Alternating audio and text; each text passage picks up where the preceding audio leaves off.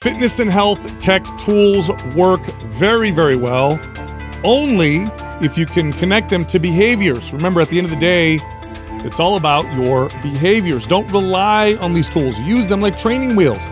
Learn about your behaviors, learn about your cravings. Why do you do what you do? Why do you avoid what you avoid? Learn those things and develop a long term relationship that lasts forever with health and fitness. I'm curious about your guys' personal journey with these things because we've talked about them uh, early on, especially when we were were doing the show. When I was going through the whole process, uh, dieting and stuff like that, I was obviously I was probably the biggest one on them as far as like pro all the Mhm. tech tools. I know you guys kind of don't really you guys off on on user and whatever. Have you? Do you feel like your opinion about them has changed multiple times? Have you felt like since day one you've been consistent about how you feel about them? Like what is your what is your Um, personal journey been like with using them both for yourself and for clients? Yeah, I think I think for me, I was always like hopeful of the next one that would come out, or like I just I had a lot of like um, excitement towards something that like could give me more insight, uh, whether it was for myself or my clients. I I think over the years I've found that the most value I've received from them has been from me as a coach interpreting the data and then sort of just incorporating things to to steer behavior that way as opposed to them like getting really involved with the tech themselves like that always seemed to peter out uh, or would overcomplicate things for them Yeah, it's I, I look at it like um, like personal trainers or coaches, right? There's always those clients, and a lot actually it's a lot of people when they first hire a trainer. What do they say? Just tell me what to do. Just tell me what to do, and I'll do it. Right? And we know that that doesn't work. In the short term, it could work, right? Because the client shows up and just does what you say, and you give them a meal plan, and they just eat what you tell them. But it never it never lasts because the person uh, doesn't understand why they're doing what they're doing, and they don't develop the relationship themselves. They're just reliant upon someone else telling them what to do, and that's just not a good long term approach. Well, that's how that was my opinion of, of tech. Uh, you know, things that will tell you your macros and your calories and your calorie burn and your steps. If you're not using it to develop kind of this long term strategy, then it's no different than hiring a trainer and just having the trainer tell you what to do. I used to do that, by the way, as a trainer. I think all of us did, right? Where you just tell the client what to do and you expect them to follow it. right I didn't become effective until I could, you know, I guess lead the client and show them how to develop these relationships themselves. That's when I became more successful. Um, so my my opinion of tech and fitness, and if you go back and listen to the early days of the podcast, we would talk about them. I was always very pessimistic. It's like it's not going to change anything uh, to have these new tools. Now it's a lot more optimistic because now we have companies like NutriSense that combines you know, CGMs, for example, with coaches that will then connect the dots for you and help you identify, oh, when my blood sugar does this, or when it goes down this quickly, I feel like this, and this makes me have more cravings, or this is when I feel more irritable, or this is when my energy levels uh, before you go to bed and then it spikes in the middle of the night Yeah. and what all that means Yeah, my sleep isn't as good when I do this. And then people start, so they have someone there to help them connect all these dots. But otherwise, it's just, um, you're just following direction. And that's not, I mean, you, you live in the world. I mean, I don't see, I don't, I don't see how anybody's going to want to ever just follow direction forever. Plus, here's the problem with that is when you just follow direction, you actually ignore your body's signals. Mm-hmm. So, like, if I gave someone a meal plan back in the day and they're like, I'm just going to do what you tell me, and something on that meal plan doesn't work with them, people ignore it. I remember, I'll never forget this. I had somebody, and this is when I really started to put this together. This was probably five or six years into my career. Somebody came to me and said, You know, I've been doing keto now for for like three months. oh yeah And um, you know, when does the keto flu go away and, and the constipation? Like when does that fix? And I'm like, three months? Why haven't you stopped? like, well, I I know it's supposed to be good for me. And I read all these articles and you know, trainers are saying it's a good thing. And and you know, this is back when it was like a, a big deal. I'm like, well, you're you're ignoring your body's telling you it's not working for you. You're ignoring it because you're just following directions. And there's there's that's not a long-term approach. There's no way that'll last long term. So I absolutely lo- love tech tools, most all of them, I should say. Um, personally, I I think that it really does depend on the person and if they have coaching. Like for example, NutriSense is someone that I actually wouldn't have liked that tool if it wasn't paired with coaching. Totally. I think the the layer how how deep it goes as far as spiking blood sugar levels and like getting the client to understand that level of it and like how that connects to behavior is an even deeper level than just understanding how often you walk and step Sure. and how many average calories does your body naturally like to me that's like the first entry level to that is these you know Fitbit type of tools. NutriSense i would say is an even deeper level. So if it didn't have a coach paired with it i actually wouldn't be that big of a fan of it. I think most people would interpret the, the data wrong or wouldn't know how to connect it, what they should connect it to, and wouldn't know even what to do with that information. So if it wasn't for that, I wouldn't have even been that big of a fan for the average person. But all in all, I think the tools are incredible. The mistake though is the people that tend to like them are tend to be the wrong people, right? It seems to be the people that are the most data driven and like geek Uber out. competitive. Yeah, I, I literally just had They wouldn't need the tools. Yeah, They're going to be consistent anyway. it's funny you you actually this was your fitness tip today because I obviously I don't know until you do it. Um, and I think two days ago I was in my DMs back and forth. This is one of our long term listeners, um, and you know she follows several of our programs, and she's got a she's got a coach that she's working with right now. She used our macro calculator. She's using the Fitbit, and she's like, you know, Adam, I'm, I'm I just really need some some direction. I feel frustrated. I'm not seeing these results, and um, my coach is having me put on this, but then when I go to your macro calculator, it says this. My Fitbit says I should be doing. That. I'm like, okay, see, this is this is where it gets bad. Is you are comparing all of them, and you want one of them to be the right one, so you can say the other ones suck, and that's the most accurate thing. And it's just like, well, that's just a roll of the dice. Which one's going to be perfect for you as far as lining up?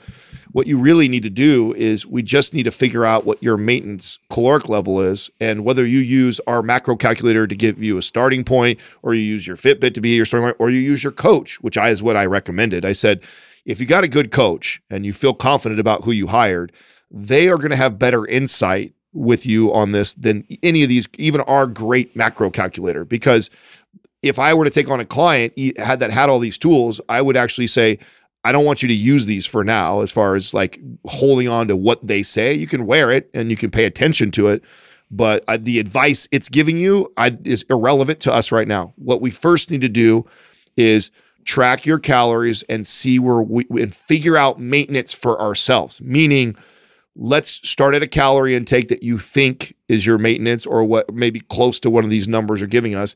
And then the goal is for us just to see your body not fluctuate in weight. We want to just maintain off of your normal daily habits. And if your normal daily habits are you don't ever work out, you sit on the couch all day, I actually kind of want you to do that for the first week or two while we're just figuring out your caloric maintenance. And then from there, we adjust. Now, if you're using a Fitbit or a tool like that, and you know we do it together and we find out your caloric maintenance is 2000 calories but the tool said 2400 calories. It doesn't ma- that number doesn't matter to me. What matters is that we know it's 2000 now you can use that tool if that tool reads 2700 uh, 1800 the up and down of it as long as it's relative to the number that we we Right. figured out. That's that's our home base. And where that tool is incredible is they are really accurate with the the how it the, how it goes the variance of it going up and down as far as how many calories you're burning how many steps you look that at the you're doing. trends. yes and so we want to watch the trends and, of and you want to compare that to what's happening. How do I feel? What you know? Why is it trending in particular? Like I'll, I'll use a very simple example: a step counter. Step counters have been around for a long time. Mhm. This is like basic fitness tech. This is as basic as it gets. Now here's where step counters uh, are valuable. You you look at your steps, you see how much you move, how much you don't move, and then you connect it to how you feel. What does that look like on a normal day? Not what does it look like when I schedule long walks, Yeah. but rather wow, Weekdays versus weekends. Like Yes. The trends there. and oh man, I have way more energy when I'm around here, or oh, I'm too fatigued when my steps go above this. And then I can move away from the step counter and start to kind of live. Because here's the deal like, if fitness is a stress, if eating right is a stress, you're not going to maintain it long term. Mm-hmm. If it's how you live, because you enjoy to live that way, um, and you've identified all the benefits that it's you know made for you, not just the scale weight in in the mirror, but all the other things, uh, then it's something that you're going to want to do for the rest of your life. So, you know, your step counter can say 10,000 steps. Okay, that's great. And so every day you can look at it. Oh, did I hit 10,000 steps? Did I not?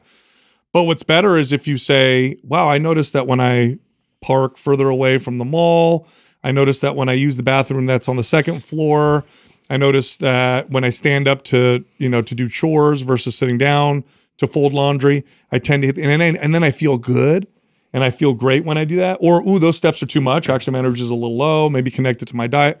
It's a learning process, it's a journey.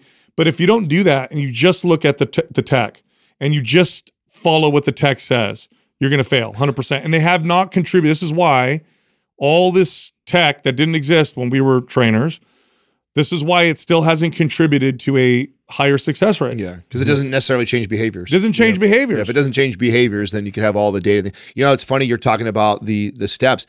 The kind of my my arc with this whole process of the the tech tools, like I totally geeked out on it originally. I I was definitely somebody who was hung up on all the different data, of my what my sleep was saying, my scores were saying, how many calories that workout burnt versus this one at the end, like if you were to see like how I was coaching, uh, like my last client that I actually coached like to to diet in the uh, before we did this, and I actually use steps more than anything else. Mm. I find that the most once I I manually find their their calorie maintenance level, right, and I know about how many steps they were taking per day, right, their activity level.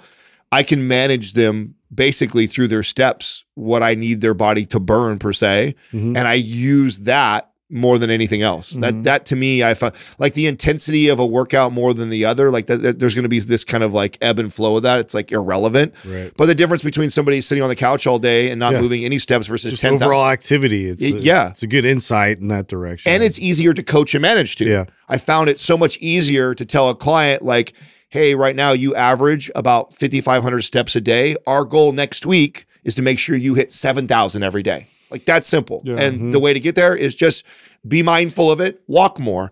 And that little bit of coaching right there, I know ramps up their total calorie burn for the day and the total for the week, and that would fluctuate the what I want. Well, look, the, the bottom line is if this is something that you're you plan on doing for the rest of your life, then you it needs to become how you live your life. So in other words, it's it's not, ooh, I got to schedule time to go to the gym. Ooh, I got to do this thing. I got to restrict my food. It's this is just how I live, and it's healthy, mm-hmm. and I feel good, and it's just it's a non-stressful way to live. Otherwise, it's going to be this up and down struggle all the time, and this is why again the fail rate is the same. We have all this tech, we have all this information. Look, when we were trainers, if I want to know how many calories and grams of proteins, fats, and carbs there were in foods, I had to go get my Calorie King book.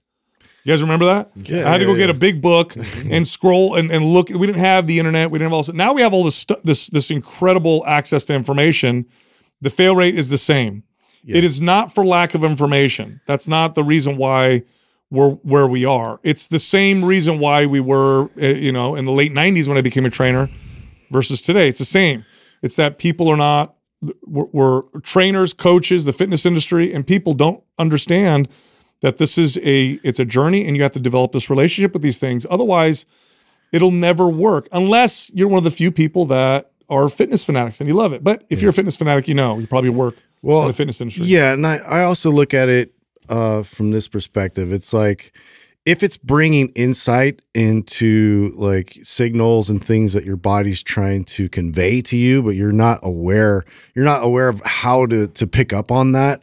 So for instance like if it's the step count thing i'm just kind of oblivious that i'm not really that active on these days or right. you know or if it's like hrv and it's like well maybe i probably shouldn't go as intense today. I'm listening to my body and realizing maybe i'm not fully recovered and it's kind of bringing me in some insight there or you know or or it's the spike blood sugar thing or if I do this in the morning instead of what I was doing previous now I have a different operating system to go off of and so it's like you got to use that and, and too the calorie thing it's you have to do the work initially to be able to have a basis to kind right. of go off of so I, if you can look at it like that as a tool it's like okay if this is actually like bringing something valuable into the way my process and I can improve my process, but then evolve past it and use my own body signals to take over. That's the, the best case scenario. What you're highlighting was one of, and this is probably why I'm, I'm I like the, the tools so much because it was one of the most pivotal uh, things that ever happened in my fitness journey.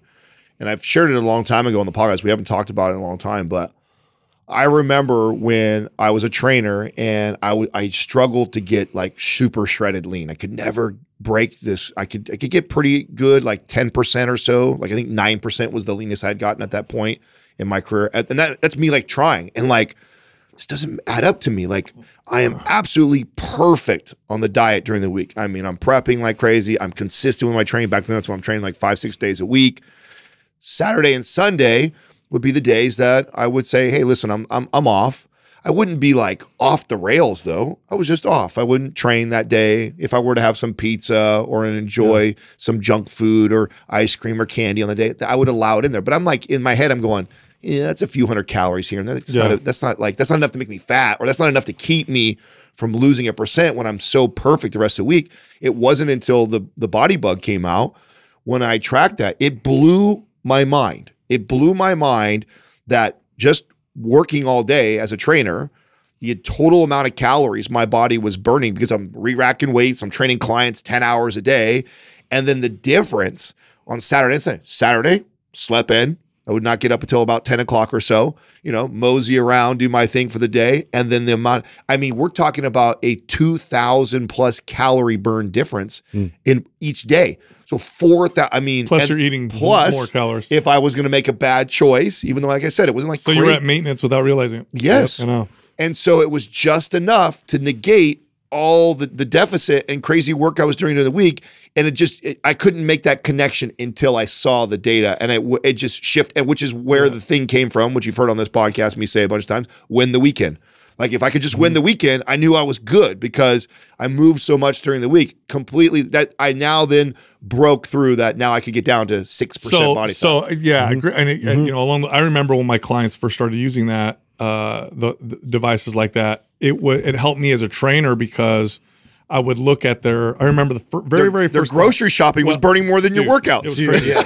Washing that blew my mind too. Yard work. Yes, I remember. Like I had my um, the calories. first woman, the first person that I had use one was this woman, and I remember when because you were able to.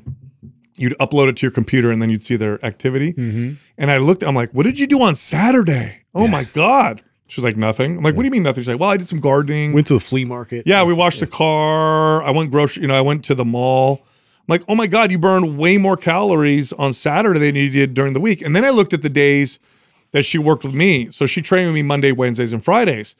And I could, and it would show you on the graph. You would see the activity level spike for the workout. And then the rest of the day was nothing. Mm-hmm. And then I'm like, so I'm piecing. I'm like, oh my god, that's true because she works a desk job. So yeah. she comes in, works out me, yeah, and then tough. nothing all day long. So it helped me coach her much more effectively. You know, I had the same yeah. epiphany too. It blew my mind that, and this was back in the days when we were probably all training our clients similar, right? Where it was like crushing them. You know, what I'm saying? like you were crushing them. They would they would go limping out of the gym or just drenched in sweat. That was considered a successful workout. And I'm looking at the days that I trained her and she was burning like half the calories she was on a day she would consider I didn't do anything. Yeah, I went to yeah. the farmer's market. Yeah, but yeah, I didn't do anything. yeah. It was grocery shopping, cleaning my house for the weekend or what that. And it was like, oh my God, here we are trying to figure yeah. out this like calorie deficit. I'm so fixated on our workout being intense so she burns more calories so we lose weight. Yet if she just has a Saturday a couple more times during the week, like we're going to make a huge deficit with minimal effort without training hard. Like that, that shifted the way Isn't I was. That funny. There's so many people still stuck in still mindset of like I got to burn this off, and it's like you, you know you you're giving yourself an hour of intense work. you're not even going to come close. Look, well, this is why they actually say yeah. today that somebody who considers themselves highly active is actually like somebody who trains five to six days a week, an hour, an hour, intense. But they work a traditional desk job, are still considered sedentary. sedentary. Yeah. Because yeah. that one hour ain't shit. You could, I mean, I don't care if you do the hardest like CrossFit workout you ever done. You're gonna burn seven yeah. to nine hundred calories at best. No, if you're lucky. Even yeah. then, like no, I mean that's like I'm talking about at best. Like there's a puke workout, seven hundred to nine hundred calories, and you're a big person. Like it ain't happening. No. Like you're like just by being a, then compare that to someone who has a job where they're just active and Look, they the walk tool- around all day, like you, you, won't even come close. The to tools the are good for awareness. It's what you do with the awareness, though, that makes it yes. uh, effective. Yes. Awareness by itself is nothing. You got to do something with it. So I, have said yeah. this before, but I think it's appropriate now. how we learn goes through four general stages. And the first one is you're, you're just unconsciously incompetent. So you don't know what you don't know. And this is where you start out. You just don't know where, what you don't know. But then you quickly move into, oh, like now I'm aware of what I don't know. Then the next stage is now I'm aware of uh, what I know. So that means I have to consciously, it's like watching a kid learn how to walk, right? Once they learn how to walk, they have to consciously think about every step. And you could tell when they're walking, they have to pay attention. But that's not where you want to end up. You want to end up in this kind of uh, unconscious competence where walking is natural. I don't think about walking. Subconscious kind of takes over. Yeah, I, I, when I walk, I don't think about every single step. I just I just walk. Well, this is where you eventually want to get to if this is something you want to maintain for the rest of your life. Where this is just like I said earlier, this is just how you live. And these tools can be a piece of that. They can be a part of the puzzle, but they are not the whole puzzle. They are not the Yeah. the solution. They're not the answer, and b- by themselves, without the right person probably coaching and explaining to you, they could be absolutely worthless. You know, I don't remember who it was. Somebody that was a friend of ours, some online trainer coach buddy of ours that was kind of clowning on glucose monitors. I don't remember. Do you remember who it was? I don't remember who it was. Oh no, I don't. It was a friend of ours, right? I mean, we don't agree. We don't agree with everybody that's a friend of ours in the fitness space, obviously. Uh, and they were, you know, basically saying how worthless they are and so pointless. And it's like, unless you're a diabetic, this is such a waste of money. And it's like, okay, yeah, at face value, you're you you could be right about that, but not if you learn to attach it to the behaviors. If you think that eating certain foods that spike or crash blood sugar does not change your behaviors and choices that you make food wise, Yeah. you don't know shit as a trainer. It absolutely does. And if you as a client can learn to make those connections, it is a simple like, oh, I shouldn't eat that because I know how I'm going to feel because of how it's going to make me crash like that. Like that's the value in it. It's not oh wear this kind of thing cravings yeah wear this ugly ass thing on the back of your tricep and it's guaranteed to make you lose 15 pounds of fat. Like no, it ain't it ain't like that at all. But if you can learn to connect it to behaviors based off of And that's what the coaching does. that's and that's where the money is at. and by the that. way, that's that's it's super valuable when you have those occasional, and all of us have them. Those foods that spike uh, blood sugar that don't wouldn't traditionally be labeled as blood, you know, sugar spiking foods. How does this happen? Well, you have immune responses to certain foods. This is what food intolerances are. So you could very well eat an avocado, which has zero carbohydrates, zero sugar. It's got fiber and fat. For all intents and purposes, you should get zero, you know, spike and crash in blood sugar because there's none in there. But if you have an intolerance to avocados that you're not aware of and you eat it, the way that your body often responds to an intolerance is it mounts a low level immune response, and that typically is a stress on the body. The body releases sugar from your liver. So now an avocado, if this is you, spikes your blood sugar. You would have never known this. It would have been hard for you to connect the dots. You would have eaten the avocado and be like, yeah, you know, and, and not connected the crappy feeling afterwards because it's an avocado. That's not going to affect my blood sugar. But if you use the device like a CGM and you worked with a coach, they would tell you at two o'clock, you got this real crazy, and you're like, well, that's weird because I'm just eating avocados. Like, oh, really?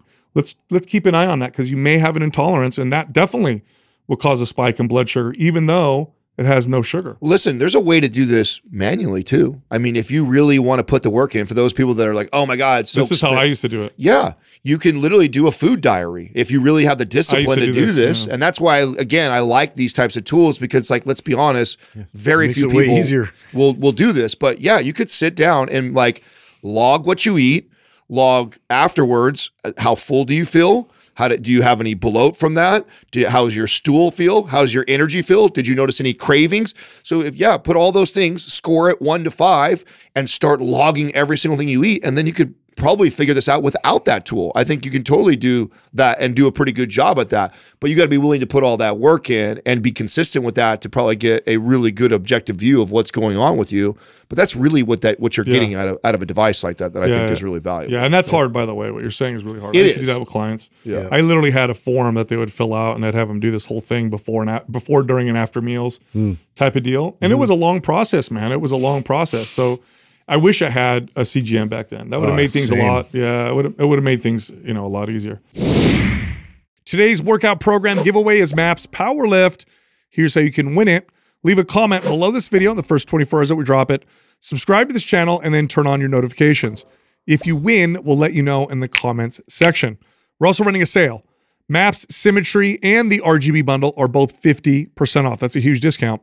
If you're interested, click on the link at the top of the description below. All right, back to the show.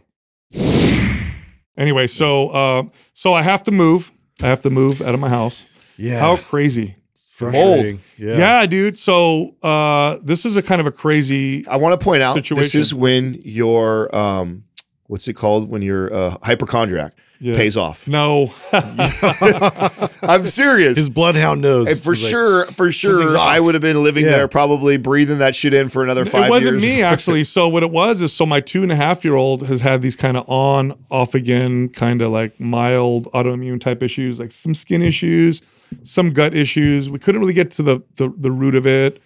Uh, we've been we were working with Dr. Becky Campbell. She's a functional medicine practitioner, and it was just we just couldn't really figure it out. We could somewhat manage it with diet, but it didn't make sense as to why his body was being so sensitive. And so um, Dr. Becky Campbell suggested that we do a urine test to test for mold, because if certain types of mold, and if you're sensitive to mold, or if you're sensitive to mold, it could definitely cause um, issues. It can cause issues. It can overwhelm your body's ability to deal with histamine. It can cause stress uh, reactions or immune reactions. So we tested our urine and it came back positive for mold. Now we're like, was it in the previous house or is it in this house? We didn't know. So I'm like, oh, I don't know if I want to do this whole because mold test. I don't know if you guys know this, but if you get like a legit company, Probably expensive. oh, it's thousands of dollars. Did you guys have to pay that out of your own pocket? Well, once we once we found out that there was mold and the kind of mold that you don't want, then our landlord compensated us through rent. Okay, Yeah. good. Because I was wondering about. But if that. it came back negative, it's on me.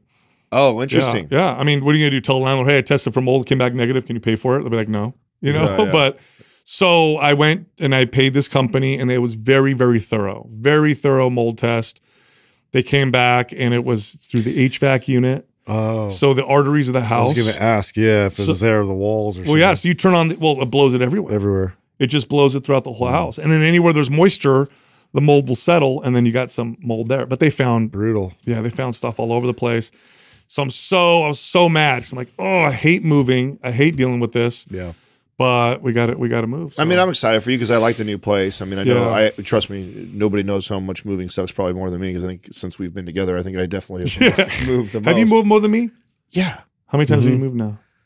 since we've been uh, Scarlett, Bernetti, Marina, Morgan yeah, Hill. yeah. Wow, four. Yeah, Okay. that's just since we've all been together. Yeah, yeah, yeah. Oh Yeah, wow, So, that's a lot. Yeah, no, I've been I've been moving quite a bit. Um, so Pain in the butt. those things like the the air dock that we have in here, hmm how um how effective are they? Do you know, Doug? What The air say- purifiers. Yeah, like- very. Because I think I've read before like 99.9% of all mold or things like that. Those things are supposed to, not that I would suggest you stay there. It and- helps, and work but if you don't get rid of the source, it. still, you're gonna get It'll some. be a constant battle. Yeah, so I did get a bunch of purifiers. Every room now has one in there because we're still there trying to figure out how we're gonna, you know, because we found a new place and we're gonna start the moving process.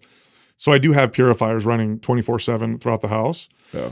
But it's crazy because, and we'll know, like once we move, we'll know if that was the really, right, if it clears up. if it clears up. And then my oldest son, who went off to college, mysteriously, all of his gut issues disappeared. Hmm. So how, you know how annoyed I am that that could have potentially been causing stuff like that for him? Bro. I'm so I'll be I'm so mad. But it's a lot, dude. The landlord's gonna have to like gut the HVAC. They're gonna have to go through walls and do all that shit. It's crazy. Oh, yeah. And when you start looking this up, you'll hear horror stories of people who, um, Doctor. So Dr. Becky Campbell herself, she dealt with this herself. She thought this. You want to hear her story? It's crazy. She thought she had. She couldn't figure out what was wrong with her. She kept having all these crazy symptoms. Traditional mold sensitivity symptoms look like upper respiratory type issues that keep reoccurring. But some people get weird stuff like anxiety, depression, being lethargic, like hmm. you think you're dying, like what the hell's wrong with me, right? She was having all these weird symptoms. She thought she had breast implant illness, which oh. if you look that up, now that's Yeah. not a confirmed thing, but lots of people say that it exists. She got her implants removed while she was in the hospital, mysteriously started feeling better. So she's like, oh, it's totally the implants. Moves back home, symptoms come back. She's like, what the hell? Did a thorough analysis and sure enough found mold in her house. And that was what the problem was. Oh wow, Was the mold. I know. ah, that's crazy. I know. And it's it's weird because there's no standard. Uh-huh. There's no real standard for what is like considered bad or good or or whatever. And again, these tests are I mean, if you have a, a decent sized house and you do a full on test, it's gonna cost you it can cost you five, six, seven thousand dollars or more. I'm sure most people live with it and don't really get you know as bad as symptoms as to to trigger like a response. Right. In Like you just have these low level just low level symptoms and, and have no idea like it's it's everywhere. so crazy. So I wanted to I wanted to call Doug out uh, on this because he was so undercover about this. What do you do now? Uh, I was I was talking to to Look how Bree. confused he looks. I know, right? He's like, He's "Oh, waiting, what the just- fuck is Adam selling me out on right now? It's because you know he's sweating bullets right now. Look at the- Let's drag it out. I'm gonna drag it out a little bit, right? Just just hang in there, dude. Talk to your daughter. She told me you were doing something. Oh, what are you doing, Doug? What you doing, Dougie? You you take a calligraphy class? Oh wow. Yeah. So uh, no, she told me that she already called me out on that. Oh, she Um, okay, good. She gave you the heads No, up. I, I had the heads up on that. So one of the things I was very interested in doing when I went to Japan was calligraphy, the Japanese calligraphy. I, I think it's beautiful. It's you know black ink on essentially white paper or Yeah. off white paper. You And have to use special pens too, right? Yeah, it's a brush. Okay. You use a brush. He's like literally taking a class. So I was going to take a class when I went to Japan, but I didn't have time. So I happened to come back to the US and I thought, well, I'm going to look for a class. And there was one locally that was being held at a Japanese art store.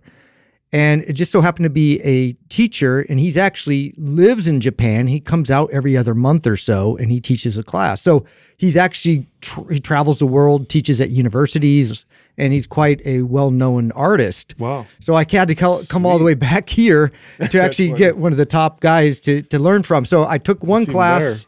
I think it was in August. Then he came back here. It's uh, no, it was in July, and then in September. So it was like a, a two month. So yeah, I wanted. I didn't want to miss the class. So I went and took it. So, it's callig- calligraphy, but it's it's Japanese characters. Japanese characters. So it's a brush. It's not like a quilled pen. No, it's yeah, it's the actual like a paintbrush with a like a you you sharpen the tip and you dip it in black ink. That's cool. But there's such a um, technique around it. Of course. Yeah. I mean, the way you hold the brush, the way you sit, all the supplies that go Wait, what along do you mean with the way you sit? You have to sit particularly. well, you sit up straight, and then the brush you hold it vertically. You don't hmm. bend the brush; you hold it vertically. And And the the- example right there. do you remember when that was all the rage for tattoos when people were doing that? And they still do it. Uh, My buddy beat me to it and he put it on his shoulder before I, I was supposed to. Have do you that. ever seen those horror stories where people Yeah, yeah, get- where it's Yeah, like you they the- mean something else.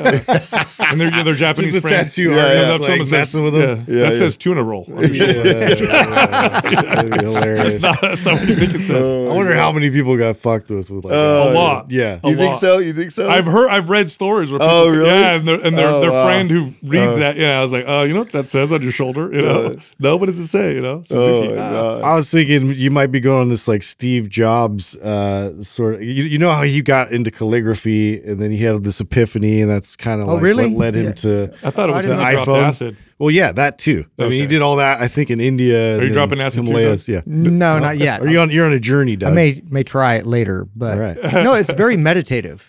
Yeah, for sure. You have to be very focused and You have to be uh, very present. present. Yeah. Do you think? Do you guys think Doug doesn't tell us stuff because he's secretive, or do you think it's because we talk so much he doesn't have a chance? That.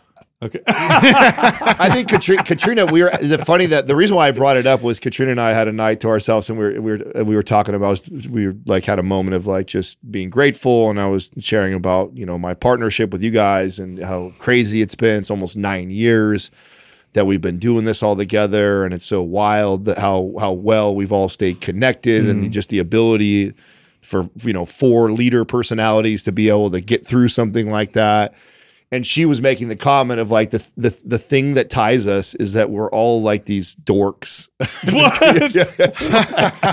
That's her. Yeah, Her glue, she thinks it's keeping she's us like, together. What it Our is is that you guys are like super dorks, and she's like, and she's doing it like complimenting at the same time. Like, I love that about you though. That, oh, that's okay. I like that. She goes, "Yeah, you each all have like your your little dork, your dorky I things that you that. guys are all into, and you just kind of privately do it." Yeah. So I would throw it in that category of like we have like this little, we all have our little geeky things that we geek out on, and then we don't need to share it. It's like it's not uh-huh. like a bragging thing, you know. Uh-huh. It's like a, Yeah. you know, I'm into this. I don't need anybody else to be into it. You know what I'm saying? I do it for me. I don't do it for anybody else. And so Totally. I think that we all kind of have a little bit of that. Yeah, but us. you tend to tell, you tend to share. I do the same thing. I'll come and tell you guys what's going on, yeah, Mm-hmm. yeah. I mean, I, unless it's a challenge and nobody knows what the hell's going on. I was gonna say Until maybe, shit explodes. maybe not. I'll mean, Doug was also you know up in the city too, going to like some trade show for the samurai swords this weekend too. so it wasn't a trade store it's a, a Oh. show. It's a, a club, actually a Japanese Oh, so- oh, even more sword nerdy. You've club. gone- you- very, very nerdy. oh wow. yeah. So did you join the club or did you just check it out? I'm going to join the club. I Oh, don't know how often I'll actually go to it. Do you have to do something to join? Yeah, it? is there any sort of like hazing or anything like nah, that? there's no ritual Gonna or get a anything full like back that. tattoo or anything? Yeah. No, but these guys, I had no idea. Yeah, yeah. I'm Can we gonna, please? Oh, that would be such a cool I want to make Doug, Doug with a big old dude. huge Yeah. like fucking that would tiger be, on his that back. That would be very Doug. They go to the That'd beach. rad. I know. Wait, where did you He get just that? has full sleeves. Heels on. down. We had like no there's a idea. Fucking massive. You guys thought I didn't? tiger. he just takes his clothes. Oh my god, I knew it. Now are they are they super dorks about it and they show up dressed up like they samurai? don't. They do not. not like However, However, not like? Justin Star Wars fans. no. Hey, they're awesome, dude. Don't don't clown on my Star Wars guys. But I gotta say, I was shocked at the level of knowledge these guys have. So I bought two swords when I was in Japan. And honestly, I bought them not knowing a lot about them. So I thought, well, I'm going to take my swords up there and have these guys look at it. And they they they take it off. So when you take the handle off, there's a, an engraving on the actual sword of the swordsmith. And I have one sword that was like 16th century, uh, you know, made. That's what I was told anyway. Wow. And so uh, the guys looked at it, and, and these guys don't actually speak Japanese, but they know the sword maker so well. They go, oh yeah, we know Tadayoshi was the name of the sword maker Wow. who made mine, and he was in the 16th century. He's made a lot of swords. He's well known, et, et cetera, et cetera. What was So- the secret of the Japanese steel and the swords? Because they were doing this back Is when how they folded it or something like But it's that? also it's also the heat and the and, and something else because they they were making steel that I mean back then they were using iron in other parts of the world. This th- their swords were harder and sharper than anything else. Isn't it Yeah, the way they fold them and or something? lighter, Is that Well, I- too. yeah, there's there's obviously some type of process. I'm not well versed on that. Yeah. Uh, something I have to learn. I I what I learned when That's I went to this club. club All I know is, is what's from I Kill don't Bill. know anything, Yeah. and there is so much to know. Yeah. There's a guy there. He's lived 43 years in Japan, and he is actually a, a, a true expert on Japanese swords. Uh, he's an American guy, and he's actually written a book on it, and just like talking about all the periods and who the makers are and the schools that made the swords, and there's such a such a history to it. So this is the this is the nerdy part Cool. that she was referring to about us is that it doesn't matter what it is. Yeah. That if we are one of us is into a thing, We're into it. we're into Yeah, it. like Like, super and that's like me. Like I've been into. If I'm once I get into something like that, it's like I obsess over it. I didn't Yeah, sleep last night. I was up till two in the morning watching. Video. I'm constantly like Yeah. doing research and homework. A lot of times too, Katrina will ask me like, "What are you? Are you going to go buy this or do that?" And I'm like, "No, I'm I'm just doing my homework right now. Like I'm not going to go make a purchase or something like that until I feel confident. Like I know what it is I want and it's a good deal. And it's like so." Yeah, we. I think we all kind of obsess over something. I like find that, Yeah. I love the I love the I mean I love Japanese cultural. I'm not not as into it as Doug is, but I could totally get into it. But it's fascinating to me because you think about it. If you in you know 16th century, if your sword broke, you're dead.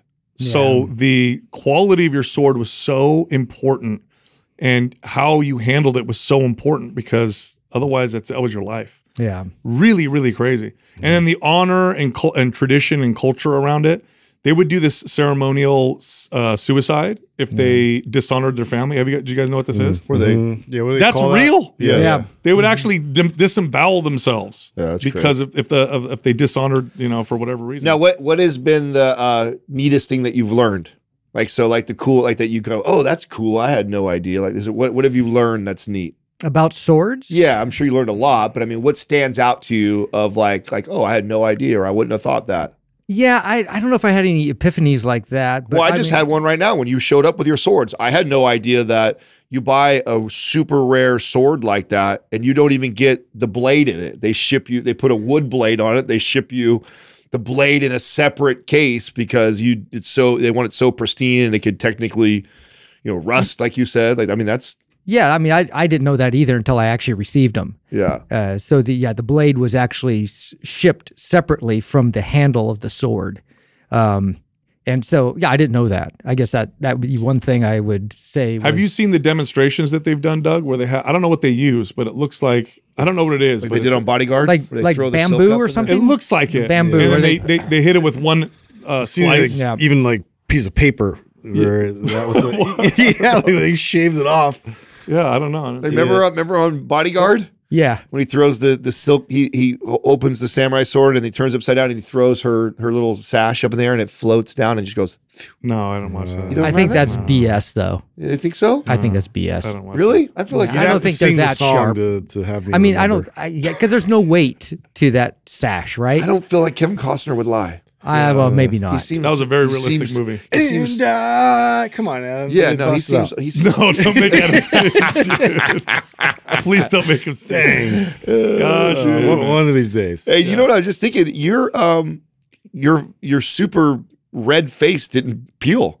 Yeah, You were you I were kept like it. I, I like it's a little bit of uh, you got a color, little- which got is rare. You got tan. You Yeah. actually see you do tan. It just is a pro. You're white, red, and then I just uh, yeah. Well, what normally happens is it gets all crusty and then it ends up flaking off and then it's gone. You know, and so I actually and we we had talked about kind of using Caldera before as I was like sunburned.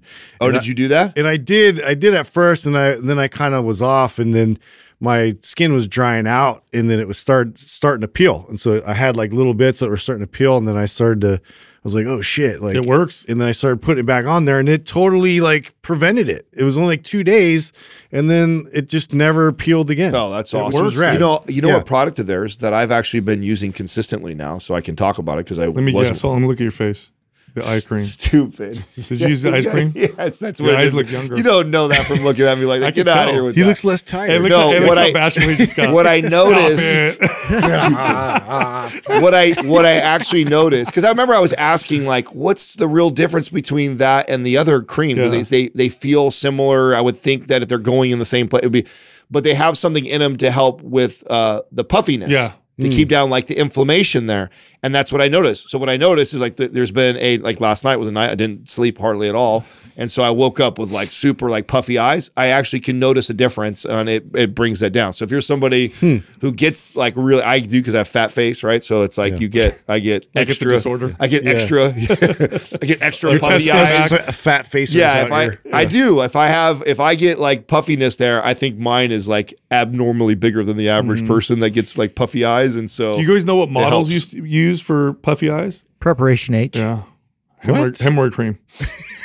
that's funny. I got That's grounded weird. for using that on my sister's Listen. face. That's really you- Whoa, Who's the whoa, whoa. fir- who's No the first to so use that? Yeah. though, and, and why? You know It I mean? shrinks. I think it's a vasoconstrictor. Isn't that isn't that baby rash cream or whatever? No, preparation H. That's for Hemorrhoid hemorrhoids. Desitin. Yeah, but like I'm the, the guy confused. that initially was using it was like, oh, I got a little leftover. Shh, You know, Yeah. like, how's that happen? So what what is it? Is because it has an It's a anti. vasoconstrictor. Oh, okay. So, so the way it works on hemorrhoids, so a hemorrhoid is a swollen, uh, essentially, like you want to say, blood vessels, and it causes them to constrict. And so, So do you think there's is do you think there's something naturally that does that in the Caldera cream? Do you know? Yes, There is. yes. Oh, Yeah, okay. that's why. it that's- so that's why it's doing yeah, that. But it Okay. ain't preparation H. Everybody, All right, good. Yeah, that would be. I wouldn't use that's not a preparation good H on your, on your face. Yeah, no, I actually, I mean, I actually really noticed. You know me, I'm always like Mr. Skeptical. Before I say something, I gotta, I gotta test it five, Yeah. five thousand mm-hmm. times before I go like, okay, I feel like I've seen a difference. It's where I notice it. I don't notice it on day to day stuff. It's not, but Yeah. if I notice I have extra puffy eyes that morning or with that, and I make an effort to really rub that in, I, it, it definitely tamps it down. So it makes a difference. I have some uh, updating news. I've been the only one here, like on watch for Antarctica news. Oh. just so you guys know. Yeah, I'm, I'm always saw keep my eyes out there for. Yeah, so you see this? There's a report that actually they found an underground lake, Yeah, in Antarctica. like So like, So you know what that means? It's like don't. it's been frozen over for thousands of years, whatever. But they're they're anticipating that the sediment at the bottom of the lake is probably millions of years old. Hmm. Which It also it also means untested. it also means there's aliens. well, that's that's quite a leap from. Isn't that well? Isn't that isn't that where Alien and Predator, the cave, and the, the Alien versus Predators movie? Isn't that where? Isn't it Antarctica where they they dig in the hole in the cave? They go really deep. Did they? Yeah, yeah. They found some uh some old ruins or something. Yeah. that was yeah. That Yeah. was. So okay, Alien Predator. explain what an what an underground lake is. That means basically Lake it's a lake Snow in a cave. Eagle. There's a Yeah. big cave, and then Well, they were there's a- flying over. I guess it was like a Chinese plane, and then they found through through looking, they they could see like a visible lake underneath the, sh- the sheets of They use ice. ice penetrating radar. Yeah, and so they used radar to detect it, but um, So it, it shows that I mean, obviously, it's a land mass. It's not just one huge thing of ice. Like there's there's a land mass there, uh, and so who knows? Like if there's there's life in that lake underneath all that ice. I told you guys about that so experiment. that do the, we do the we go Soviets do we go in and do something? I mean, do they? Will they I think they're they're, gonna drill. and drilling. Oh, and- they will? Yeah, they're doing Yeah. an expedition. Well, because Oh, you can look back in time. that's that's interesting. You can you can literally look back in time by with that by accurate down. carbon dating that we have. Huh? Is that how Stupid. Stop it. we, can, we can get within a million years. We're gonna find years or so. dinosaurs and prove you wrong, dude. Super accurate. You guys remember that? I told you guys about that Soviet uh, experiment, right? Where they were digging the deepest hole ever, and I think it was in Antarctica. And they, the story goes that they encountered some creature that uh, maybe you can look it up, Doug. It was like the the the, Yeah, the I'm hearing all these stories, and it's it's of like creatures. that it was it there. was uh, um, controlling the minds of some of the researchers. What's the update them. on the Mexican They had to fill the hole in. Where was this? What? This is, I believe, in Antarctica. Look up the the deepest the the deepest hole ever dug by the Soviets, and then put monster. Yeah. And it's just like this whole thing about like this creature. The what movie? There was a movie that was based off of it. What was that movie? It was in the snow. It's in the 80s or 90s, and there's like a creature that nobody. Okay, Yeah, and- Justin know, is the only hope for you on that. I know. type of stuff. I got I'm more looking right at context. Doug and I, we we were not watching that. Yeah. Was that? I'm like 80s. It's called was the it- Kola Super Deep Borehole. Mm. It went down, I think, boy, Did you put- 12,000 meters. I did put monster in there. yeah, Mm. yeah. No, there was a monster. yeah. Uh, let's see here. Yeah, The deepest hole ever dug? Oh, Is that- yeah. And the yeah. re- temperature got up to 356 degrees Fahrenheit. Whoa. Yeah. yeah.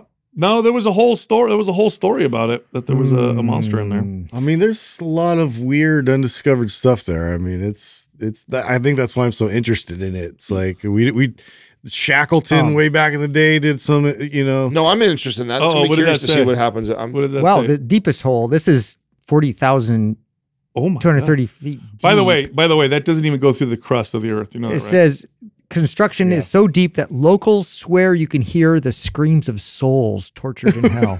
wow. The, the, the, that's the creepy. crust dude. is deeper than that, even, huh? We've never. I don't think we've ever gotten through the crust of the earth. Wow. I know. I know. You'd think they would be able to go down. Yeah. Now, now here's what's weird about this. So let's speculate because during the Cold War, we did a lot of weird stuff that was funded by the government. Uh huh. The U.S. and the Soviets were trying to dig the deepest hole. Why? Yeah. Why? Why were we doing that? I don't know. reach hell. Explain uh, Operation High Jump too. I mean, there's still a very Reach high. hell? There's still a very high probability it's there. The hell is actually. yeah, yeah. we haven't even broke through the crust, dude. We're not even close to getting to where hell could be. I mean, no, I'm, I'm I'm wondering why they were trying to do that, and what would the, what would be the point? So it took, just so you know, same it, point to get into the it moon. took uh, 20 years to go 40,000 feet deep, and it's only about one third of the way through the crust. See? wow. Yeah. Wow. Yeah. Yep. Dude. Yeah, we need Nuts. better drills. Yeah.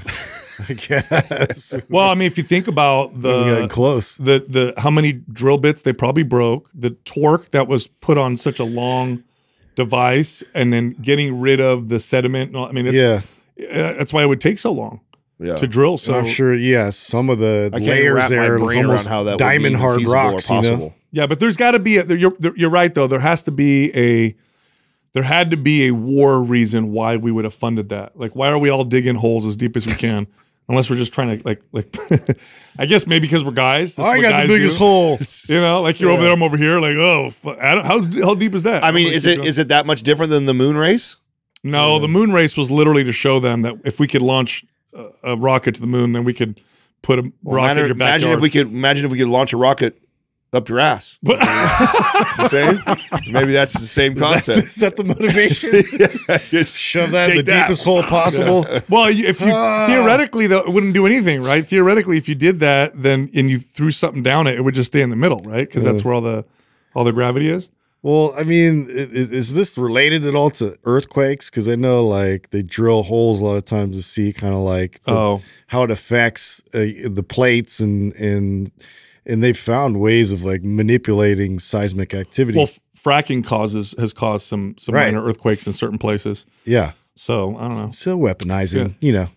I wanted to tell you guys. I don't know what you call this as a dad, if if this you guys experienced this before or not. But I'm at so we're in Redwood City. We go out to eat at uh, Palo Alto this weekend. It's just Katrina and I, and next to us is a couple with a son who looks like he's a young teen.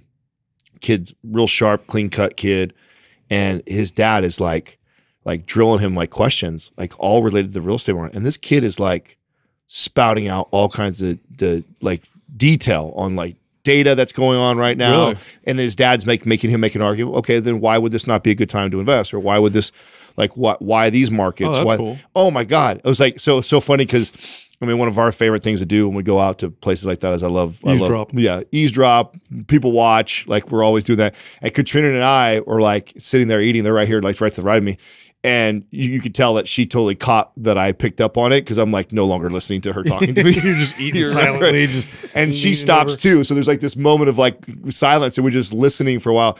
I love her because she just she like actually introduced herself right away, and she says hi. She goes, "What's uh, how old's your son?" And then they look at her kind of like sideways, say like, "We're totally listening to your conversation. My husband, I know right now, is geeking out on the fact that your." son is spouting off all this information and then we got in this great conversation it was like his so he goes to high school at palo alto and he has a class that like he had this whole dissertation that he had to uh, put out for that and i forgot the name of the Wow, class in high school. yes Wow, that's cool. yes that's- it was but i mean i really did have this like i was totally admiring the the whole thing like to see the dad like having this really intelligent like investor type of conversation with his young you know teenage boy like that his son to be able to, to battle Did back you- and speaking I of like, eavesdropping, did you guys cool. did you guys ever do that when you were kids, where you're with your buddies and you know there's girls next to you, so you make up conversations, hoping they'll. Did you guys ever do that?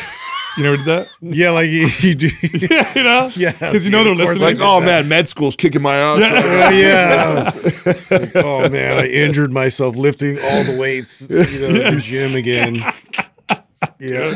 I probably did. I'm sure we did. I'm sure we did. I mean, I gave her 15 orgasms last Yeah. night, but we had to break up because you know. I just couldn't handle Yeah, it. she could it was too it much. Yeah. Yes. I mean, so, uh, all this money was falling in my pockets when I was walking I'm home. sure did something I knew a like guy that, used to he he had fake ATM receipts. this is true. This is a Oh true my story. God. Brilliant. He had fake ATM No, he did. He Yes, he did. like leave them or drop them. no, them. this is where he would write his phone number. When he would write a girl a oh, number, come he'd be like, "Hold on, let me get a piece of paper." And he'd Bro, like, did that work for He'd him? pull it. Yeah, Of course it did. yeah, it did. That's and he'd write on the back of it, and then he'd get a phone call right away. Oh, oh my god! I've actually never heard what a that. scumbag! That's if you think about so- that, right? Yeah. Well, especially if it's nowhere. If you have That's nowhere so near that. It was nowhere near. This Oh, guy had like 25 bucks in his account. How mad is she? You know what I'm saying? She's Yeah. been dating him for like months, putting all this time. I'm gonna call like- John back. That's like the guy with the Ferrari key chain, you Or know, the that comes to the bar. Yeah, and shoes he's or the hat. And he's was just all- driving a Mazda or Yeah, something yeah. else, you know. But he's I that used to be a common thing we used to see. I feel like I used to see guys that would be rocking a like a, a Ferrari hat or they make Ferrari shoes and stuff like that. And I'd be like, like because we were in the gym, right? So Yeah. we'd see these people. So I like follow them out in the parking lot to go see what they drove. Oh, I'm gonna see this Ferrari, right? This guy gets in some Mazda. yeah.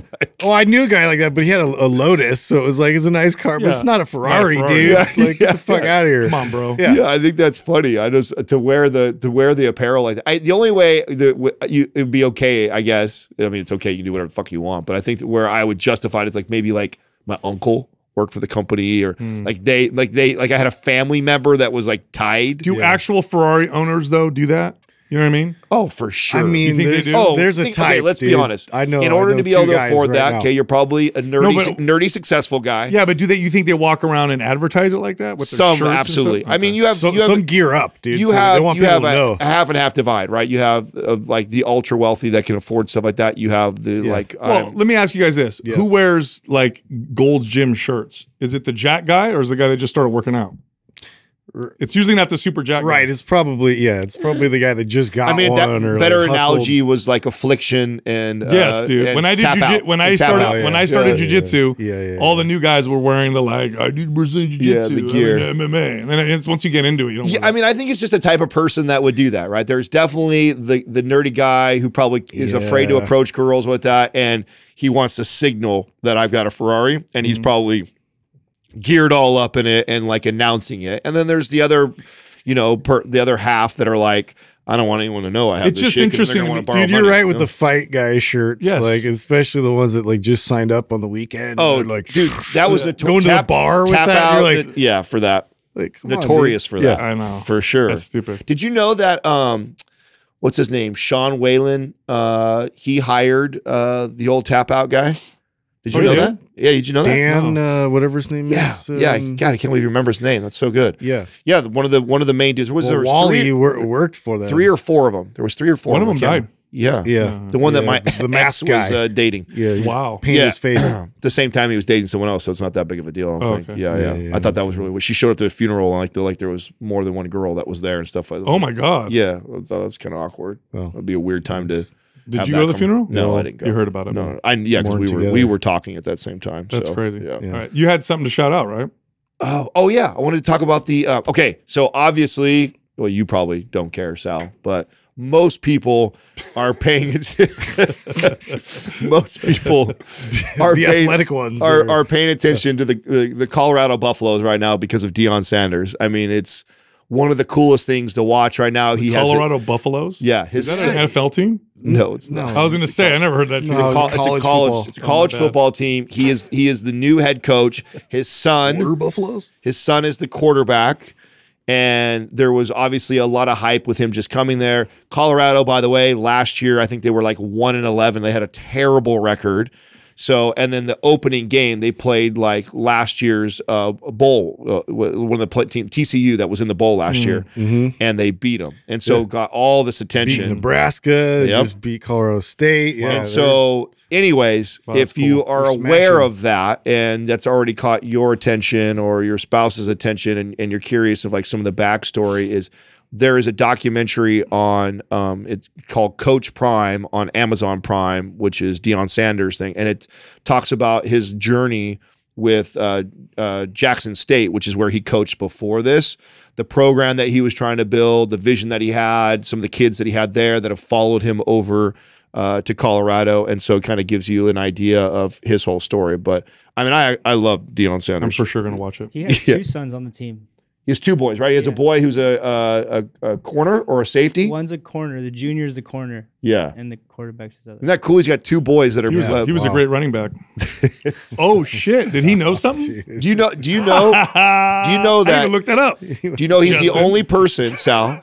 Do you know he's the only person in history ever Didn't he play baseball and football? Yes, on the same day? I know. Only only person that's ever Listen, done, un- what done that before. saves me Same is day. that I remember random shit that when I'm when I'm hanging out with guys because guys like to talk about Yeah. this kind of stuff. Yeah. And they start talking about things, and I don't know what the fuck's going on. I'll throw in the occasional. One thing. Oh, Yeah. Deion, remember when he played baseball and football on the same day? And everyone's like, he knows what he's That's talking like about. the, our version is like triangle choke. Yeah, No. we know that. And then I'll walk away. Yeah, just drop. And they tell their wives. just Sal- Mike. That's your mic drop Sal right knows there. a lot about everything. You know? God, he knows No, everything I knew it. one That guy thing. knows so much about everything. Right I knew there. one thing. That was it. That's it. Sometimes I'm convinced That's you do you that with a lot of stuff. That's all you need. That's it. It's for podcasting. yeah, it is a podcasting skill. Organifi makes organic supplements to help you with your health, athletic performance, fat loss, and muscle building.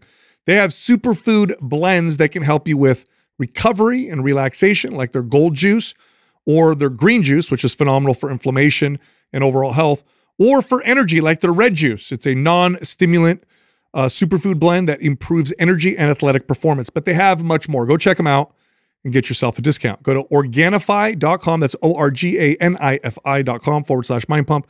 And then use the code mind pump to get 20% off. All right, back to the show. Our first caller is Kelly from Virginia. Hi, Kelly. How can we help you? Hello. Thank you for having me. How are you guys? Very good. We're doing Great. amazing. So cool to see you guys. Uh, well, just thank you guys so much for um, for having me on. You had answered a previous questions about MAPS performance and me being gassed. Uh, the question's a little similar, um, but but but very. I, I, don't know. I think it's a little bit more um, a little more um, detailed in terms of some of the struggles I've been having over the past few years. So just thank you for everything that you guys do for me and for everyone else. Yeah, you're welcome. So. Thank you.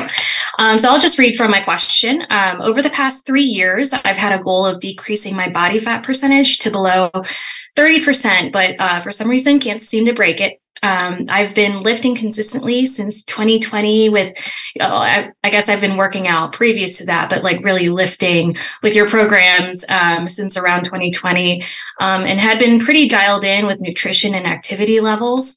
Um, and per some of the guidance from your previous episodes, I started uh, going into a bulk um, for the better half of last year. So, um, yeah, t- most of 2022. Um, but uh, sprinkled in mini cuts um, and, and like kind of maintenance phases throughout.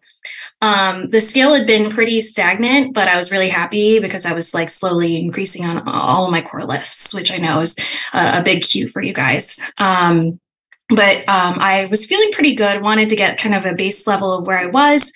Um, and I went to get a DEXA scan back um, in May, May or June, um, and uh, it still said that I was around 30% body fat. Um, I have been kind of at a maintenance at that point, um, and you know, I I walk eight to ten thousand steps generally per day. Um, I try to think, you know, I, I tend to think that I'm pretty healthy, like lifestyle wise.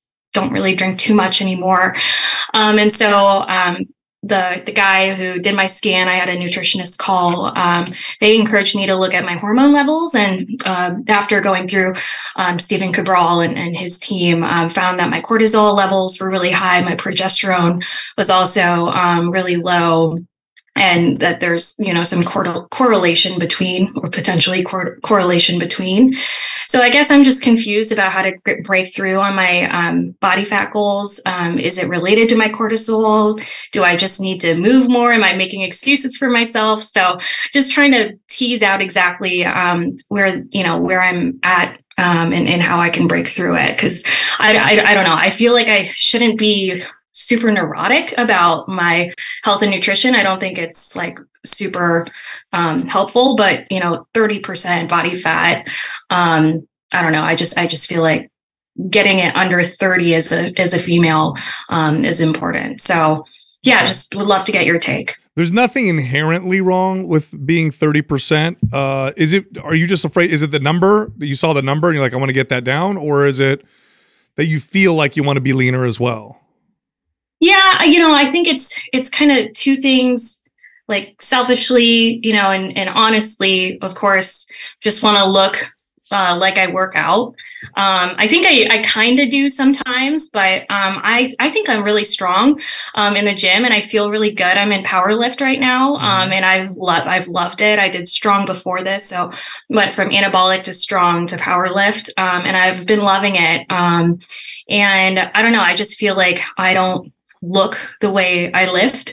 Um, and maybe that's just subjective, but well, yeah, it is subjective. Yeah. But um, there's that. But then also, you know, I, um, my husband and I are starting to try again, and I've just been encouraged, you know, maybe, um, you know, just to have a healthy, healthier pregnancy, you know, just to work on my my body fat. So it's a little bit just more like health and longevity wise, I, I and and goal wise, but then also, yeah, like selfishly, just a, a number I would, really want to reach. Would this be your first kid? This would be my second. Okay. So, How did you feel when you were pregnant yeah. with your first? Did you did you feel really good during pregnancy? No, it was a it was kind of a a, a complicated pregnancy. Um, we my son was born at 28 weeks, okay. so um, you know they didn't have any real rhyme or reason. There was no like diagnosis as to why he was born preterm. Um, but um, yeah, you know, I I didn't have like the best lifestyle at the time too. I okay. was young and you know, Okay. Yeah, well, your, your, body fat percentage is fine for pregnancy. Um, you know, you know, twenty five to thirty percent would be fine for for most women. Uh, let's talk a little bit about the hormones. High cortisol, low progesterone. Uh, are you familiar with the signs and symptoms of estrogen dominance? Have you looked that up? Yeah, yeah, and and it it resonates very Okay. much. Um, and I've been working on, you know, taking magnesium. Um, I've been working on sleeping and stress, and I will say I haven't rechecked my hormones over the past two three months, but um, I do like physically feel better. Like I can bounce back from, you know, like and not feel so bloated after a. a a you know weekend away that sort of thing there are just like certain symptoms i feel like are getting better but um yeah estrogen dominance is definitely um yeah i i, So I think i probably feel through that That um, can often come from gut issues, right? So your body's ability to clear estrogen might be a little compromised. So typically, this looks like digestive issues, constipation um, would be a common one. Um, and can that affect your body fat percentage? I mean, it can. It can through behaviors. Cortisol definitely is a reflection of your your a body your your ability to manage and handle the stress that you currently have. So either that would be a lifestyle thing or a relationship with a lifestyle um, thing. It, it could be one of one of each or both in that particular sense. As far as getting leaner is concerned, it's a very basic approach, right? Take your maintenance calories, cut them, eat a high protein diet, and then you should get leaner. But if there's an underlying gut issue that is the root cause of the low progesterone, high cortisol, you're going to want to address that first before you start to really try to tackle getting leaner with diet. Otherwise, it's going to be an uphill battle. So I don't know exactly what route you're on with the practitioners uh, with Dr. Cabral's team. I'm assuming though they're looking at gut health and they're they're they're moving you in that direction, and that might be why you feel better. Is, is am I hitting the nail on the head, or are you guys doing other stuff? Well, I mean, it was um, it was just the it was the consultation. It was like a thirty minute or maybe an hour long consultation, um, and they pointed me in the direction of different supplements and like what tests I could take. I hadn't. I was like, let me try to figure out like some of the the actionable things first, like sleeping better and Yeah. you know reducing my stress and stuff before I get into that. Um, but they they did mention gut gut issue stuff potentially. how's your yes. dige- how's your digestion? I think it's actually okay. Um, yeah, I think it's it's okay. Uh, there were there was a, a like a, a month span where it was totally off. Um, but I think I just like was drinking too much tea or something, and and I figured it out. But um, on a day to day, I think it's um, it's actually okay. Okay. I, I had a question about um, you made a comment about um, being neurotic about calories and tracking is uh, you don't think it's very healthy but and then in your notes you have that you are eating between 1900 and 2100 which leads me to believe that is that a guesstimation or are you actually weighing and tracking food? I was, I was, I was really, um, I was really focused, um, in 22 and the early part of this year, um, on, on my calories. Um, but I think like, I'm just the type of person when I like, when they told me that my cortisol levels were high, I was stressing out about how to get my cortisol levels down. So I Which was like, I don't, you know, I, Mhm. I want to I want to be I want to approach this in a in a more I guess yeah healthy way. Um but it, it was they, that was accurate. Um I had bulked up to 2600 2700 and I was doing okay. Um and then but then I went down um to about 2100 and then like the mini cuts I did 1900 too so um You could do yeah but I haven't if you were my client, I would have you. I would. I would definitely have you work with the functional medicine practitioner. Just kind of get the root issue of the low progesterone. I'm. I'm. My guess is it has to do with your digestion, and you're not clearing estrogen out of your body um, uh, properly. So you get a little bit of estrogen dominance uh, going on there. Uh, that's not my field, so I'm. I'm using an educated guess, I would say, but I would work with them. And then the cut, I would do five days a week of 1,500 calories, and then, and then I would do two days a week of 2,000 calories. It'll be a slow cut. You're not going to see like rapid fat loss doing it that way, but that's okay. I don't want you to go too quickly considering everything you've told me. So it's like a five day cut, two day maintenance. I think that would be a perfectly fine approach so long as you also address and what what's happening with your hormones and get to the root cause because if there is a gut issue that's going on this is going to be a constant struggle and what'll happen with the cut is you'll find uh, cravings are going to kick in or hormones will work against you and you may find your body trying to lose muscle rather than body fat uh, as a result Yeah, I um earlier in 22 I had done a cut like prior to the bulk. Um I had done a not I mean not a drastic cut. Um I think probably 17 1500 or something. Um and I went to get a DEXA scan and I had yeah increased body fat, lost muscle, Yeah. and I was like, what is going on? Um, and right now, like I'm, I feel great. Like I feel like I'm doing great, and I'm like progressing on the lifts. I think it's also just by virtue of doing power lift. It's Yeah. um just new to me, and like I don't know, you you have like measurable you know weights and that you increase every you know few weeks or whatever and so um that's been really good but um yeah i think that's totally the all the the addressing the underlying issues. Yeah, and I don't. It's not. I don't think it's a big deal. Uh, but I do think that. It, so it's it's a very straightforward approach. I, I'm very confident that if you kind of did what I said, you're going to get there. It'll be a slow process, but you'll see your body transform in the direction you want. So it's literally a five day cut, two day maintenance, but be very consistent. I would work with the function. I would do the tests that they recommended that you take. I'm assuming they did some. They, they wanted you to do some gut health testing, probably food sensitivity and a stool test to see, you know, if you have any any any bacterial overgrowth.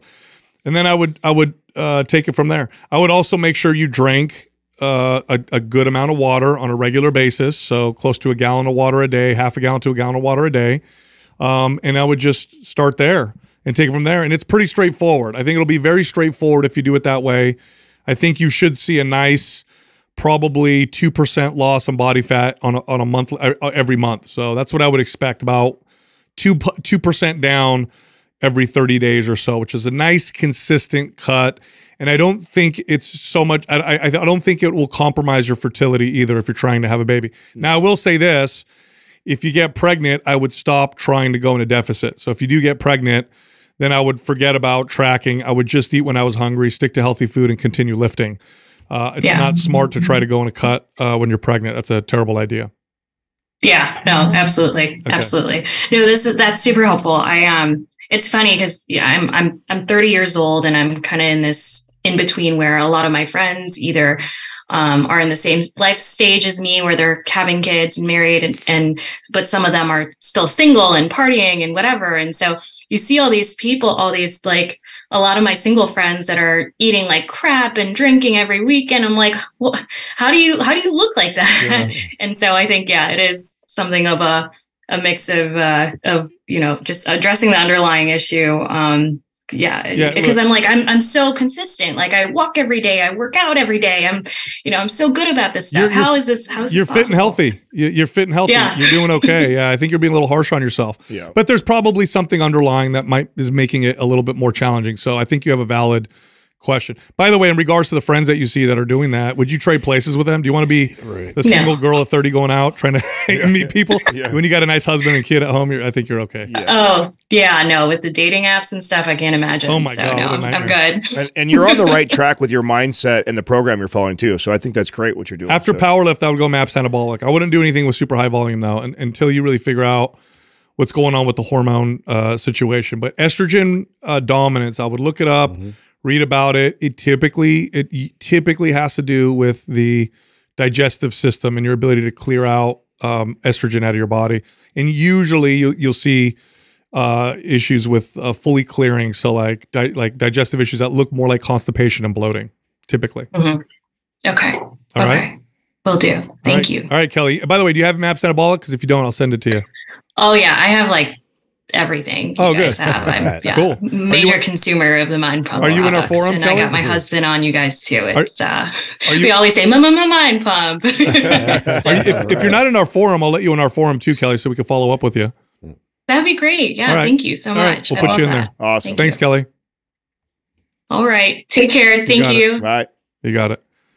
Very, pretty straightforward. I think that's gonna. I mean, like I, like I said, if she was my client, it would be very straightforward the direction we would go, unless something really weird. Yeah, definitely the, Popped the up. gut health uh, direction with the functional medicine. That's where I mean, that's Yeah. that's where I would look. It could be thing. something else, but that's exactly where. Yeah, I I wanted just to to navigate. I wanted to address what she said about pregnancy and healthy. There's a little bit of a misconception on um, body fat percentage and what's healthy for a woman to to get pregnant. I think you assume. In fact, uh, one of the things that when Katrina and I were first trying to get pregnant, we uh, struggled with was that her body fat percentage wasn't high enough, Oh yeah, yeah. and that's she's low. not even she wasn't even dieting. She was just uh, health, what you we would consider healthy, Athletic. athletic, making good food Yeah, choices. they probably, they probably told her to gain body fat. That's right. Yeah. And we were having a hard time getting pregnant. And the doctor said, you know, um, honestly, maybe maybe try to put on a little bit of body fat. And she was like, what? Yeah. Again, because in her head, she's like, I don't feel lean and ripped or anywhere Yeah. near that right now. I'd like to be leaner. And he's like, yeah, but not ideal for uh, getting pregnant. So honestly, between that 20 to 25 minimum on the low end and then 30 is not bad at all. It's No. not, it doesn't have like adverse effects until you start getting really high. Yeah, in the, and it really depends on the person. I mean, Yeah. generally, once you start to get above thirty, you might notice some stuff. But uh, I mean, between like you said, between twenty five to thirty, I mean, you're fine. If, Especially if you're fit and you and everything else. Yeah, is you're good. strength training, you're active. Right. Yeah. Our next caller is Carol from Indiana. Hi, Carol. How can we help you? Hi. Um, Hi, I'm actually Carol. from California. I'm not sure um, Okay, it how we got that, but it's all good. um, hi guys. Um, first of all, really appreciate all the work you do. Um, as everybody says, you know, the information's great. Um, I've let so many friends know, you know, to listen in if they have any questions about things uh, fitness related and life related. So I just I I appreciate it, and you know, I've been listening for a few years now. So great stuff. Thank you. How can we help you? Um, so basically, um, it's not a super complicated question, but um, I'll just go ahead and get into it with my background, and then if you need to know anything else, go ahead and ask. Um, I'm 23 years old, um, 5'3", 125 pounds. Um, I danced ballet my whole life up until graduating high school. Since then, I've been weight training for around five years. Um, I also work at Disneyland um, as a parade performer. Um, I've been in a cut for a few months and I got to my lowest weight at 120 pounds. Um, I'm now heading into a bulk. Um, now I weigh around 125 pounds um, and my goal is 135 and to hopefully make the most gains on my shoulders and my legs. I started MAPS Aesthetic last week, so now I'm on week two, and I really like the full body days. I love switching up the frequency um, but I'm not really interested in growing my biceps, triceps, or my traps anymore. So I was wondering, is it okay to just kind of take the exercises out um, on some of the foundational days so that I'm just kind of maintaining the muscle mass? Or um, would you recommend removing them or replacing them with exercises from other muscle groups? Yeah. Just And then remove them. Just yeah. remove Well, it depends. Hold on a second. Yeah. Well, first Well, of all, what what do character do you do in the parade? Stupid, stupid. That has That no- matters. that I wanna know. Um, I'm a dancer. I'm just a dancer for like a. s- We're Hold on a base second. our That has whole nothing to do with that. it. Hold on. Show us your biceps, and we'll give you a, a real answer. Okay. Let's see.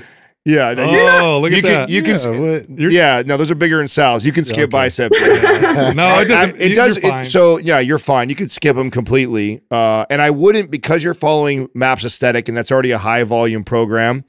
Um, you don't necessarily, and those are small muscle groups. It's not going to be a big deal. And but, but you're still getting that work when you're doing chest and back. Like those muscles are getting engaged. They're not work- being neglected. Yeah, so it's not like you're completely neglecting them. So um, I think that's totally totally fine. The mistake I do think that a lot of people make though is they go, oh, okay, I'll just do more of the thing that I really want to work, thinking that even more of that volume is going to be better for you. Not necessarily, and I would I would just probably drop that drop that off. Yeah, or beginners, right? Let me skip this muscle group. It's like, no, no, no. You, you just got started. Yeah. I think you need to train everything.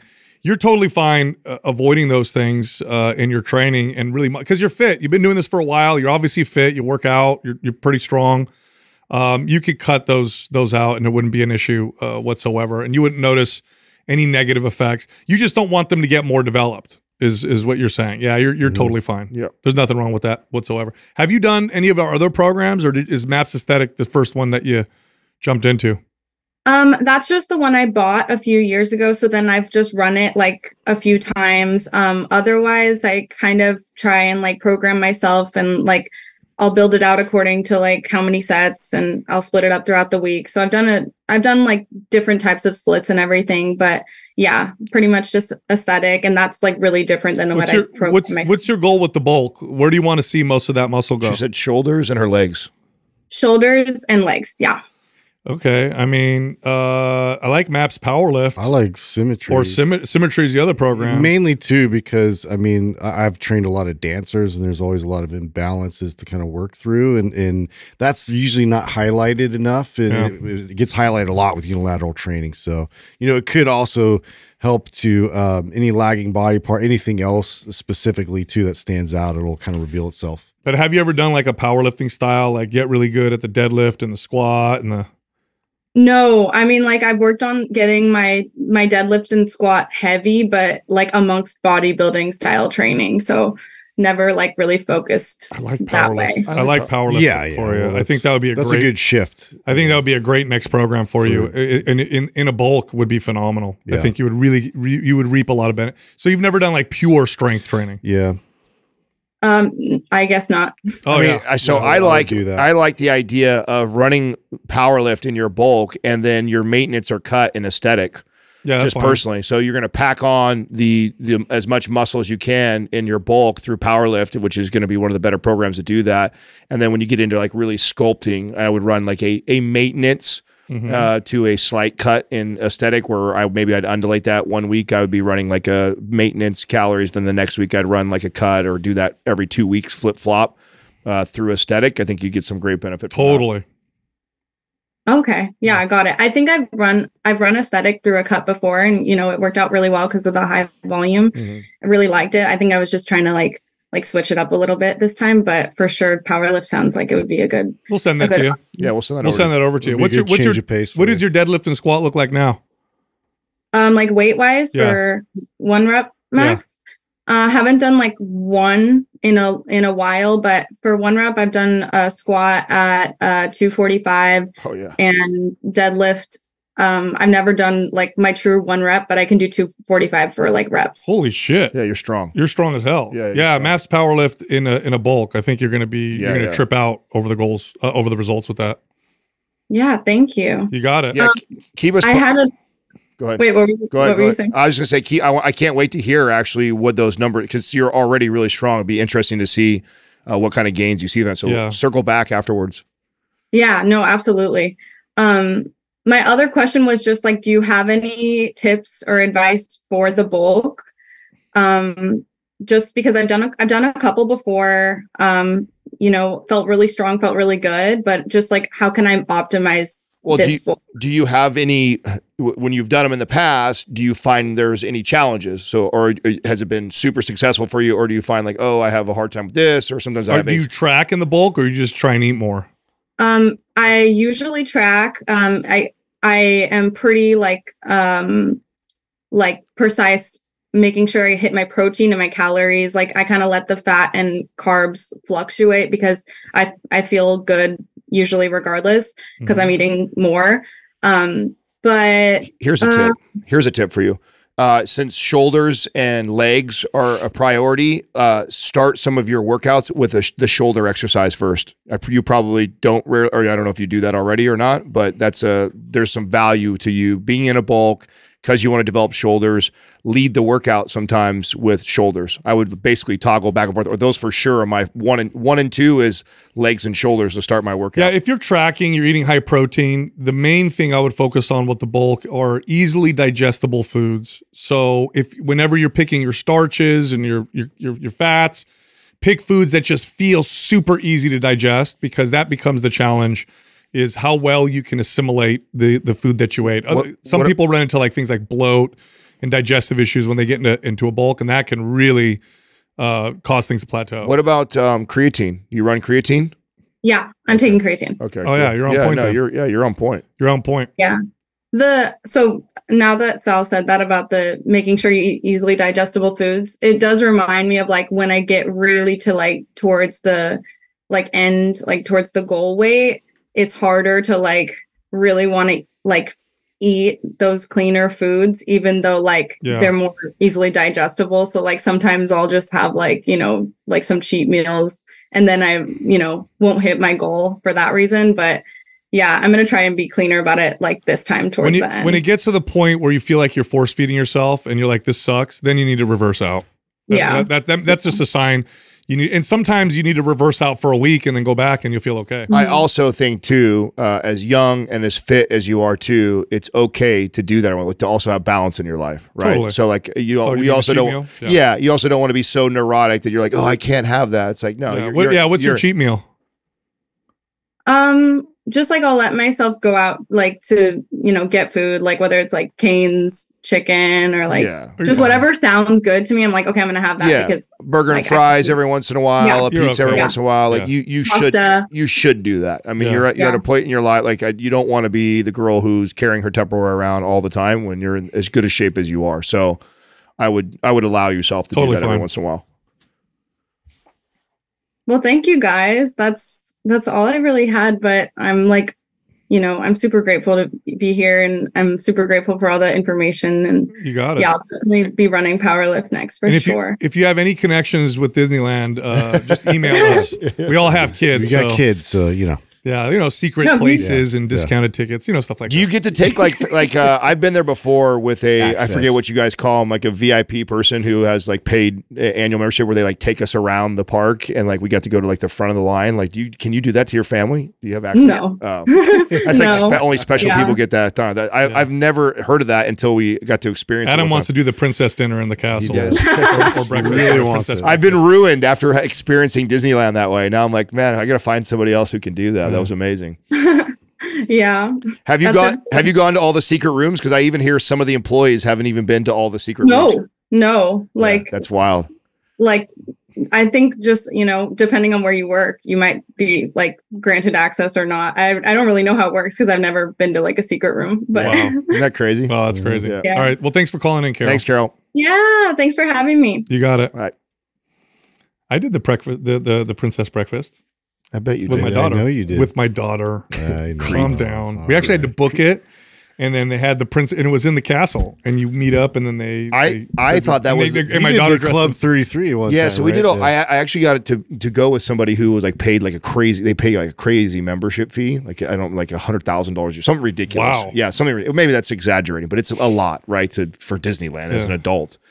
And that was one of the things you get is you get a chauffeur basically to take you around and you go front of line every, everything. You have access to all the private rooms. Wow. And the girl who got to go around with us was so excited to take us Because she'd never done it. because she's never done it. And she'd worked there for like six years. Yeah. So it's like really common that you could work there for a long time and not even see all of Disneyland because they keep it so, you know. I'm, I'm just gonna say this, and I know I'm gonna piss off a lot of people, but if you're an adult and you go to Disneyland by yourself, oh, don't say. Well, you pissed my sister off, bro. uh, my sister's a huge. uh, I took her for her 30th that's birthday. cool. That's what I she like wanted her. to- She's cool. What she wanted weird. to do was Disneyland. I and know, I, that's hey, weird. in her defense, That's weird. it was actually a, I had a really good time. I thought, you know what? Like it's there's yeah, but would you do it as a man, like just you and Justin, go to Disneyland and maybe Justin. Yeah. wow, Yeah, Justin's a lot of fun. you guys are weird. Yeah, we Yeah, probably yeah. do mushrooms. Yeah, yeah. Whoa. Okay, never mind. That's what a Get what a, kicked out. what a crazy Yeah. place to do Yeah. psychedelics. Disneyland. That'd be Just don't do the teacups. Yeah. Yeah. Oh, that makes me sick. I don't do spinny stuff at all. Our next caller is Tiffany from Canada. Hi, Tiffany. How can we help you? Hi. Thank you so much. Yeah, you're welcome. What's going on? So, um, first of all, I've been listening to you since I think you started, and I love your podcast. So, thank you. Wow, that's Um, great. Thank you. Yeah. Um, I've been around with you guys for a long time. So, um, my question is I'm a landscape gardener. So, I work out, I, I'm definitely type A, and I work out year round, except eight months of the year, I'm pretty heavy in labor for work. And I just feel like I get the body that I want in the winter, and then it's like it starts going backwards during my busy season, whether it's stress or I'm doing much. And I just don't, it happens to me almost every year, and I don't know how to kind of get out of this circle that I'm in. Hmm. I have a I have a, a good good idea why. I, I'm assuming if you're taking that much activity uh, and you're also training, you probably just need to cut back on the volume training, of training that you're yeah. doing and feed yourself more. And what happens in the winter is it probably naturally happens, right? You work you work less, you're indoors a little more, so you're not moving around as much. You're not you're not the intensity's not there because the labor's not there. You probably even have some Recover comf- better. comfort foods or Yeah. eat eat a, eat a little more in the winter, and your body's thanking you for it. And then you go to grind mode in work work time, and naturally just all the the labor, movement, maybe even too who knows if you get enough calorie, yeah, stress. Like so, Can you can you explain it uh, like what a workday looks like when you're busy? It says here that you're a gardener, so you're physical, you're outside. What does that look like in a day? So in the spring, when things kind of like when my body gets shocked from me going back to work, I'm dragging heavy tarps all day and I'm lifting heavy barrels of like, you know, debris and stuff like that. So my spring is definitely my hardest part of the season. And then again in the fall when our leaves fall, uh, fall cleanup is hard on me as well. But I'm moving, you know, 10 to 30,000 steps a day. I'm, you know, I'm weeding, I'm digging, I'm planting. So I'm very active that way. And I do take about a month off in the spring from the gym, but then it's my passion. And I feel like it just turns into all I do is work if I don't go to the gym. So I don't know how to like keep my results that I got all winter too. Like, do I not go to the gym for eight months of the year? I would miss that. Yeah, Uh, so it's, yeah. it's less about not going to the gym at all and the intensity and the amount of volume you're probably doing. So when you do go back to the gym, uh, what does like a gym week look like for you? What do you? How do you typically train? So I would say I start out about three times a week and I just I don't go as long because I know that I'm now adding yet another stress onto my plate. So I'll go in and I'll train like I love shoulders. So I'll train shoulders twice a week and then I'll do a little bit of legs and then a little bit of everything else. But I try not to heavy load because I know that I'm like squatting all day and I'm deadlifting all day for work. So I try to do more like a leg press or different things that maybe don't put as much on like my back and and my core Okay. Um, and i then i slowly you know add a little bit more and a little bit more You're on- probably where you're on the right track. I agree. You're on the right track. Tiffany, look at it this way, okay? You plan, I'm sure you plan on exercising for the rest of your life. Your Absolutely. workout, your workouts need to improve the quality of your life. So when the context of your life changes or the circumstances change, the workouts have to change. Otherwise, your life is your workouts, which if that's what you want, then we can do that and then you can become a trainer, live in a gym, quit your job, and now that's what you do. But if if if that's not what you want to do and you want to have this amazing life and you like exercising because it improves things, you have to modify your workouts. What it's probably going to look like is one day a week of strength training or Maps 15. or really easy full range of motion recuperative type workouts where you're not in there to train you're in there to feel better now here's the the kicker you'll get better results this way like you're going to get better results if you train in this way you should feel more energy and better from your workouts not less okay I like Maps 15 for her too. maps 15 in season would be amazing Yeah. Literally it's like a 15 20 minute workout every day and that would probably be ideal during the season and you'll get better results you'll see strength muscle and and, and Yeah, fat be loss muscle preserving for sure. We we also didn't talk about what what might be happening also nutritionally. So how do you think your eating habits change from winter to uh, in you know work season? um i would definitely say i eat less all winter i eat i'm pretty intuitive eater i don't uh like i, I definitely hit my protein target Mhm. uh i could be carnivore probably because i love eating protein um so i definitely have enough protein um, and then I would say I'm probably more on the higher carbohydrate. So I eat a lot of plantain and oats and rice and and definitely uh, whole foods that way. Okay. Um, but I think what happens is in the spring, I, I start to actually lean out a little bit more, and then I totally go the other way because my body's like, "What the heck is Yeah. going on?" Yep. And then I start nickel and diming my diet because I'm scared because I like being lean, and I'm maybe not eating as much as maybe I would if I was listening to my body a bit more. yeah okay so here's here's what i want you to do Mm. your winter's fine your training and diet seems like you're fine when you get into the season either cut your training down to once a week or do something like maps 15 and i want you to add a meal. That's all. Don't worry about tracking all that stuff because you, you do it intuitively. Sounds like you're making good choices. I would add an extra meal to your day and that's how i would eat during the work season. And i think that'll cover your bases right there. And it will because what's happening now is you're going into it and because you're dramatically increasing your activity, not changing your workouts too much, your body's rebounding. So you're getting cravings and, uh oh, now I'm overtrained. And then you go in the opposite direction versus what I'm saying, which is you're going in and you're prepared. So you just add a meal, make it a three, 400 calorie meal, and then uh, cut your cut your training, your your strength training way down. And I think you'll you'll you'll it'll be a smooth transition if you do it that way. So either MAPS anabolic one day a week or MAPS 15. Either Yeah. one of those I think Yep. would work perfect. totally. Do you have either one of those or both of those by chance? Those I do.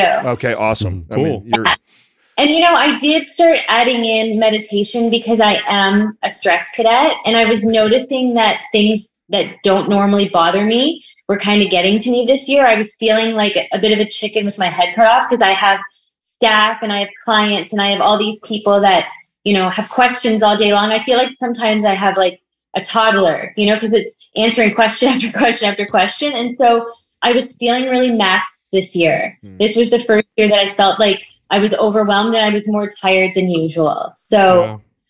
I am trying to like do more good, put more in the the good bucket, but it's tough for me because I do like control and I do like to train, and and I'm always worried that I'm going to go backwards, but I end up going backwards because I do too much. Yeah, it's the illusion of control. yeah. Move it in the other direction, Tiffany. You, you're still modifying things. You're just doing it the right way. That's all. It's not. You're not mm-hmm. giving up. In other words, it's not like you're giving up on something that's better for you. You're actually moving in the right direction. You- sound pretty self-aware too. I mean, I think you're, and I think most of the things that you're doing, you're you're doing the right things. I don't think you're far off or tweaking. And you look like you're in incredible shape. So we're we are like nitpicking right now as far as, especially if you feel good. I mean, if you feel good, you're just kind of like, hey, I wish I could keep my gains from winter. Here's some s- slight adjustments that I think could. Yeah, I think adding the you. meal and, and modifying the training the way we said that And- would be, that would do it. And then maybe one more thing to consider if you haven't done this anytime recently, like recent as in the last year or more, uh, is actually running like a bulk for a little bit. I don't know when, when it suits you in your life. Like obviously, I wouldn't do that. Add to that on top of everything else you might have going on. But when there's a time or a season in your life where it's like, hey, you know, I haven't really, Nourish. yeah, tried to like you know. Bu- pump my calories up higher than what I normally do and, and really push the weight in the gym like maybe run a, a small cycle of a of, of an intentional bulk if you haven't already I definitely avoid that at all costs. Oh, so well, that then- Oh, okay. Well, Adam hit the nail on the head. Okay, well then this might be also what we're missing then. This I mean if you have if you kind of have okay, now we can get a little bit deeper into this stuff. So if you if part of what's going on right now is you have this fear of eating too many calories because you're going to put on body fat and so you're always at maintenance or in a cut and you also have high stress and you have this season where you bump and part of what you might be feeling Yeah, is your reaction strong because of that. yeah, sure. that you're you're paring down muscle and your body's going into survival mode, and it's really because it's not recovering, it's not being fed properly, and maybe what you do need to do is run a nice bulk.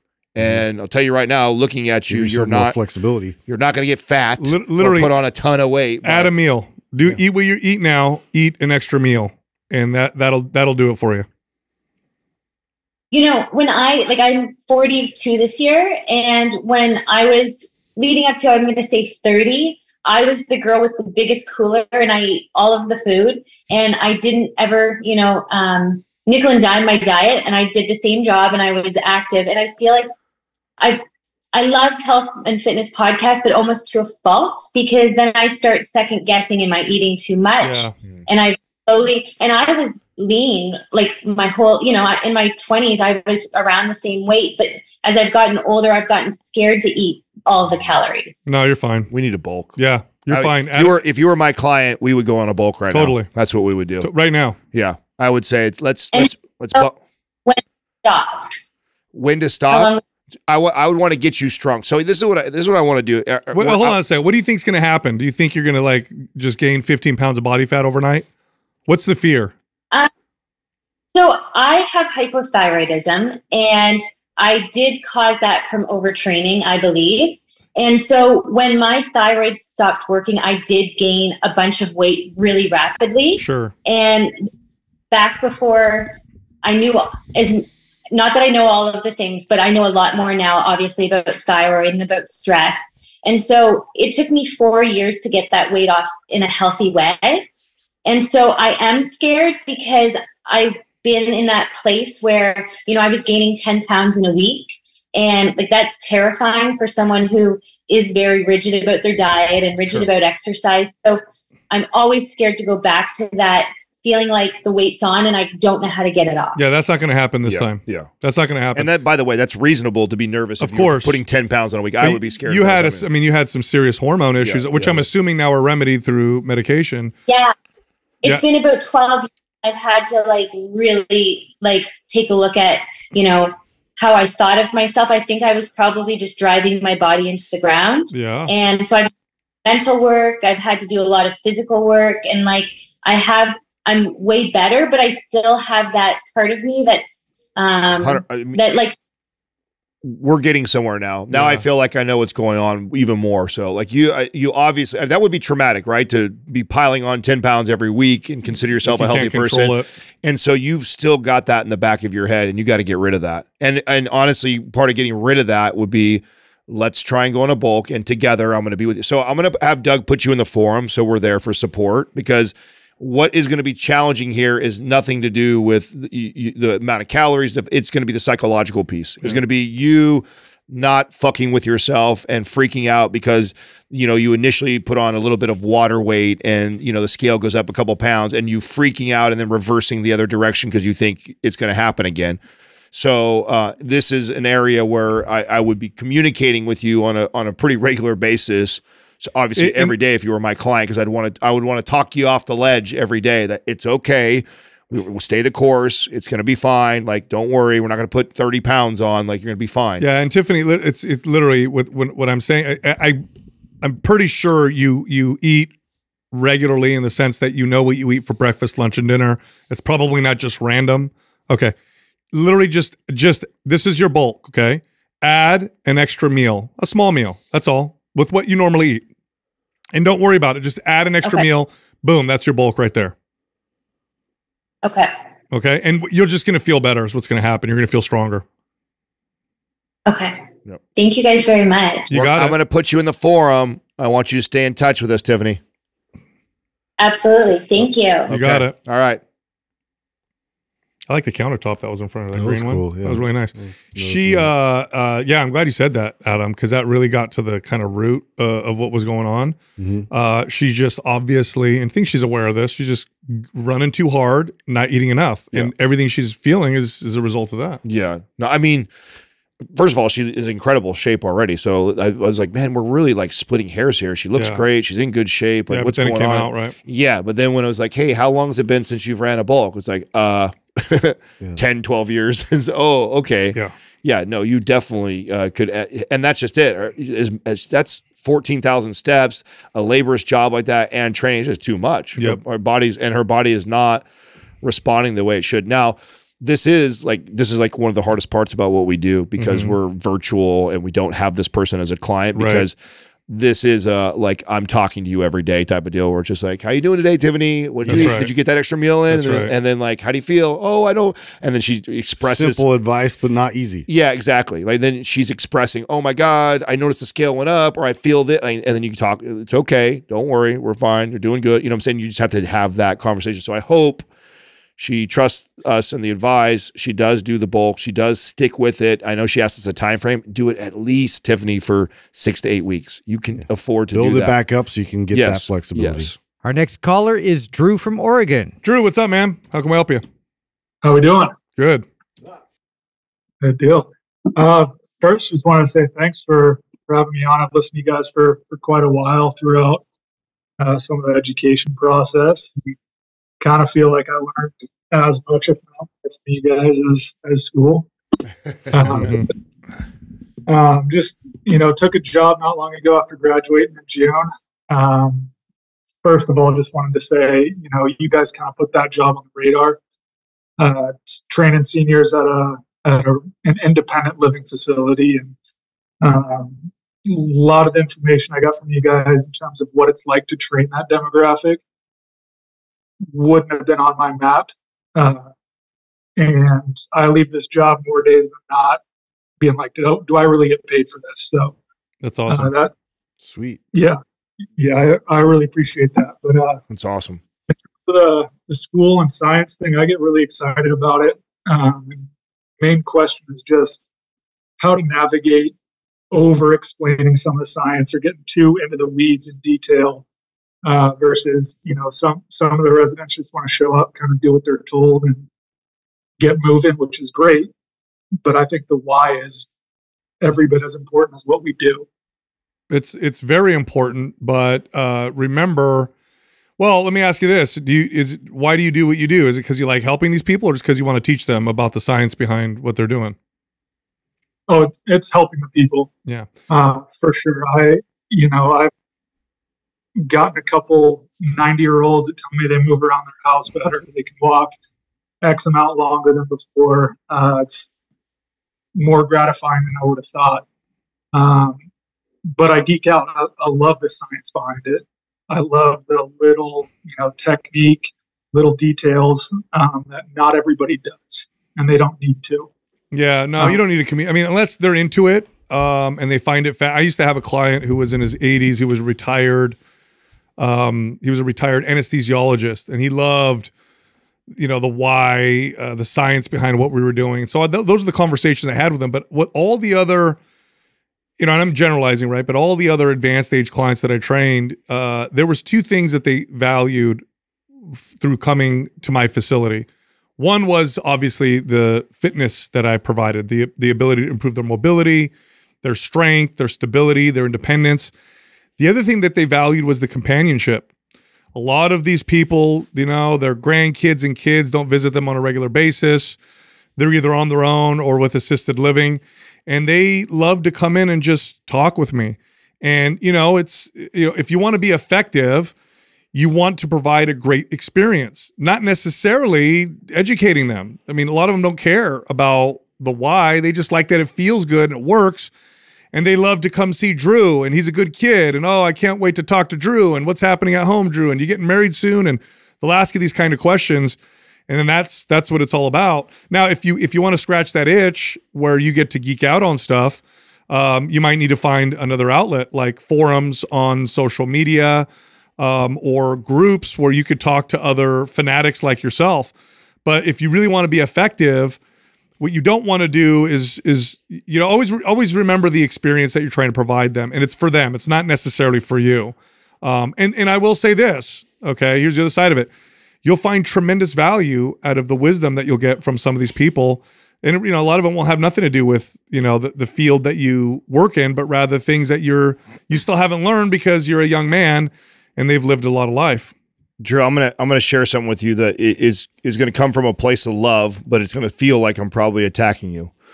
So in my career, most of what I did was train trainers, and I had the opportunity to work with a lot of PhDs, master degrees, brilliant, brilliant minds.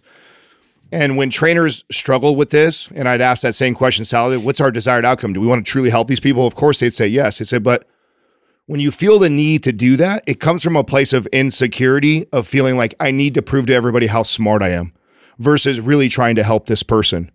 This is no different than my insecurity around money. So for a long time, when I started to come up from being a poor kid and I became successful, I'd find myself in these rooms. And as soon as we started talking to people, I felt the need to tell everybody my bankroll and how successful I was. And that's coming from a place of insecurity. Who, who do I, none of these people do I have to prove that to? What is that doing for building a relationship? So that feeling that I'd have to do that is, is coming from an insecure place. My PhDs and masters that worked for me for a long time, it's the same thing too. Is they had some deep rooted insecurity about being the smartest person in the room or being educated or intelligent. And so they get into these places where they have an opportunity to teach and then they would over teach. And I'd be constantly telling them, it's like, it's so great that you're this intelligent. It's like you're one of my favorite, best trainers that I have here as far as knowing your shit. But you're talking to some kid or some lady who doesn't give a shit about the science. And if our goal, if we agree that my goal and your goal is to truly help these people, then you have to recognize you're allowing yourself to get in the way of that by over talking and over Yeah, speaking. usually this is a challenge, by the way, with grad new graduates always do this, and, hmm. and I think it's because you just came out of school. You're like an evangelist at that point. Yeah, and you really want to like to, like this is what I know. There's two things. One, you enjoy talking about this stuff, mm-hmm. and then two, what Adam's saying, which is whether you're aware of it or not, this is very common with new trainers and coaches, is you want to validate your value. and so this is what I know, and this is what the body does, and here's what's happening to your humerus, and it's internally rotated, and here's why your scapula hurts, and all this other stuff. But if you want, if that's you really enjoy talking about this stuff, Yeah. talk to people who like to hear about that, and, Yeah. and Or you'll get way more value. Yeah, start videotaping yourself doing that and start producing content like uh, you know turn that into something that you know somebody else like a, a potential trainer could you know reap the benefit from in terms of you breaking down all the nuance and you know examples of clients that you've helped uh, and how you've been able to do that meticulously through us- utilizing these methods and um, yeah, it, there's nothing wrong with being passionate about this stuff, and and it's just yeah, I I catch myself like if I learn some new concept like that, like bringing it right back to my clients and oh get all excited to to educate them. Uh, when in fact, um, you know, I've learned over the years to kind of, you know, uh, use that and shuttle that elsewhere, and then also to like uh, apply it uh, almost in a sneaky way. So it's it, it shows up in their programming, but it's not. I'm not overwhelming. You want to be There's nothing, there's nothing wrong with being excited and passionate and learning something new and wanting to give that information. Listen, I was the same way too. Okay, so that that's totally okay. But just understand how you're communicating, and if the desired outcome, if you truly believe in your heart, is to help that kid or to help that person, then getting them to uh, adopt whatever it is you're teaching it is so much more important than them knowing that you know how many layers this goes deep and all the and, and the they won't even remember that if Yeah. they don't care anyway. They won't. It's Yeah. like you're, you're just talking to the wall. That's It's- right. It's a waste of time. That's right. And so just just remember that as you do that, that if you want, if that's the desired outcome, then getting them to adhere to it. And by the way, when you hack into this at a guy with, that has the intelligence and has the level that you do, it's a superpower. It's like you have the intelligence now to talk to doctors and talk to very intelligent people, and so you can have that conversation when it's needed, and you'll impress them.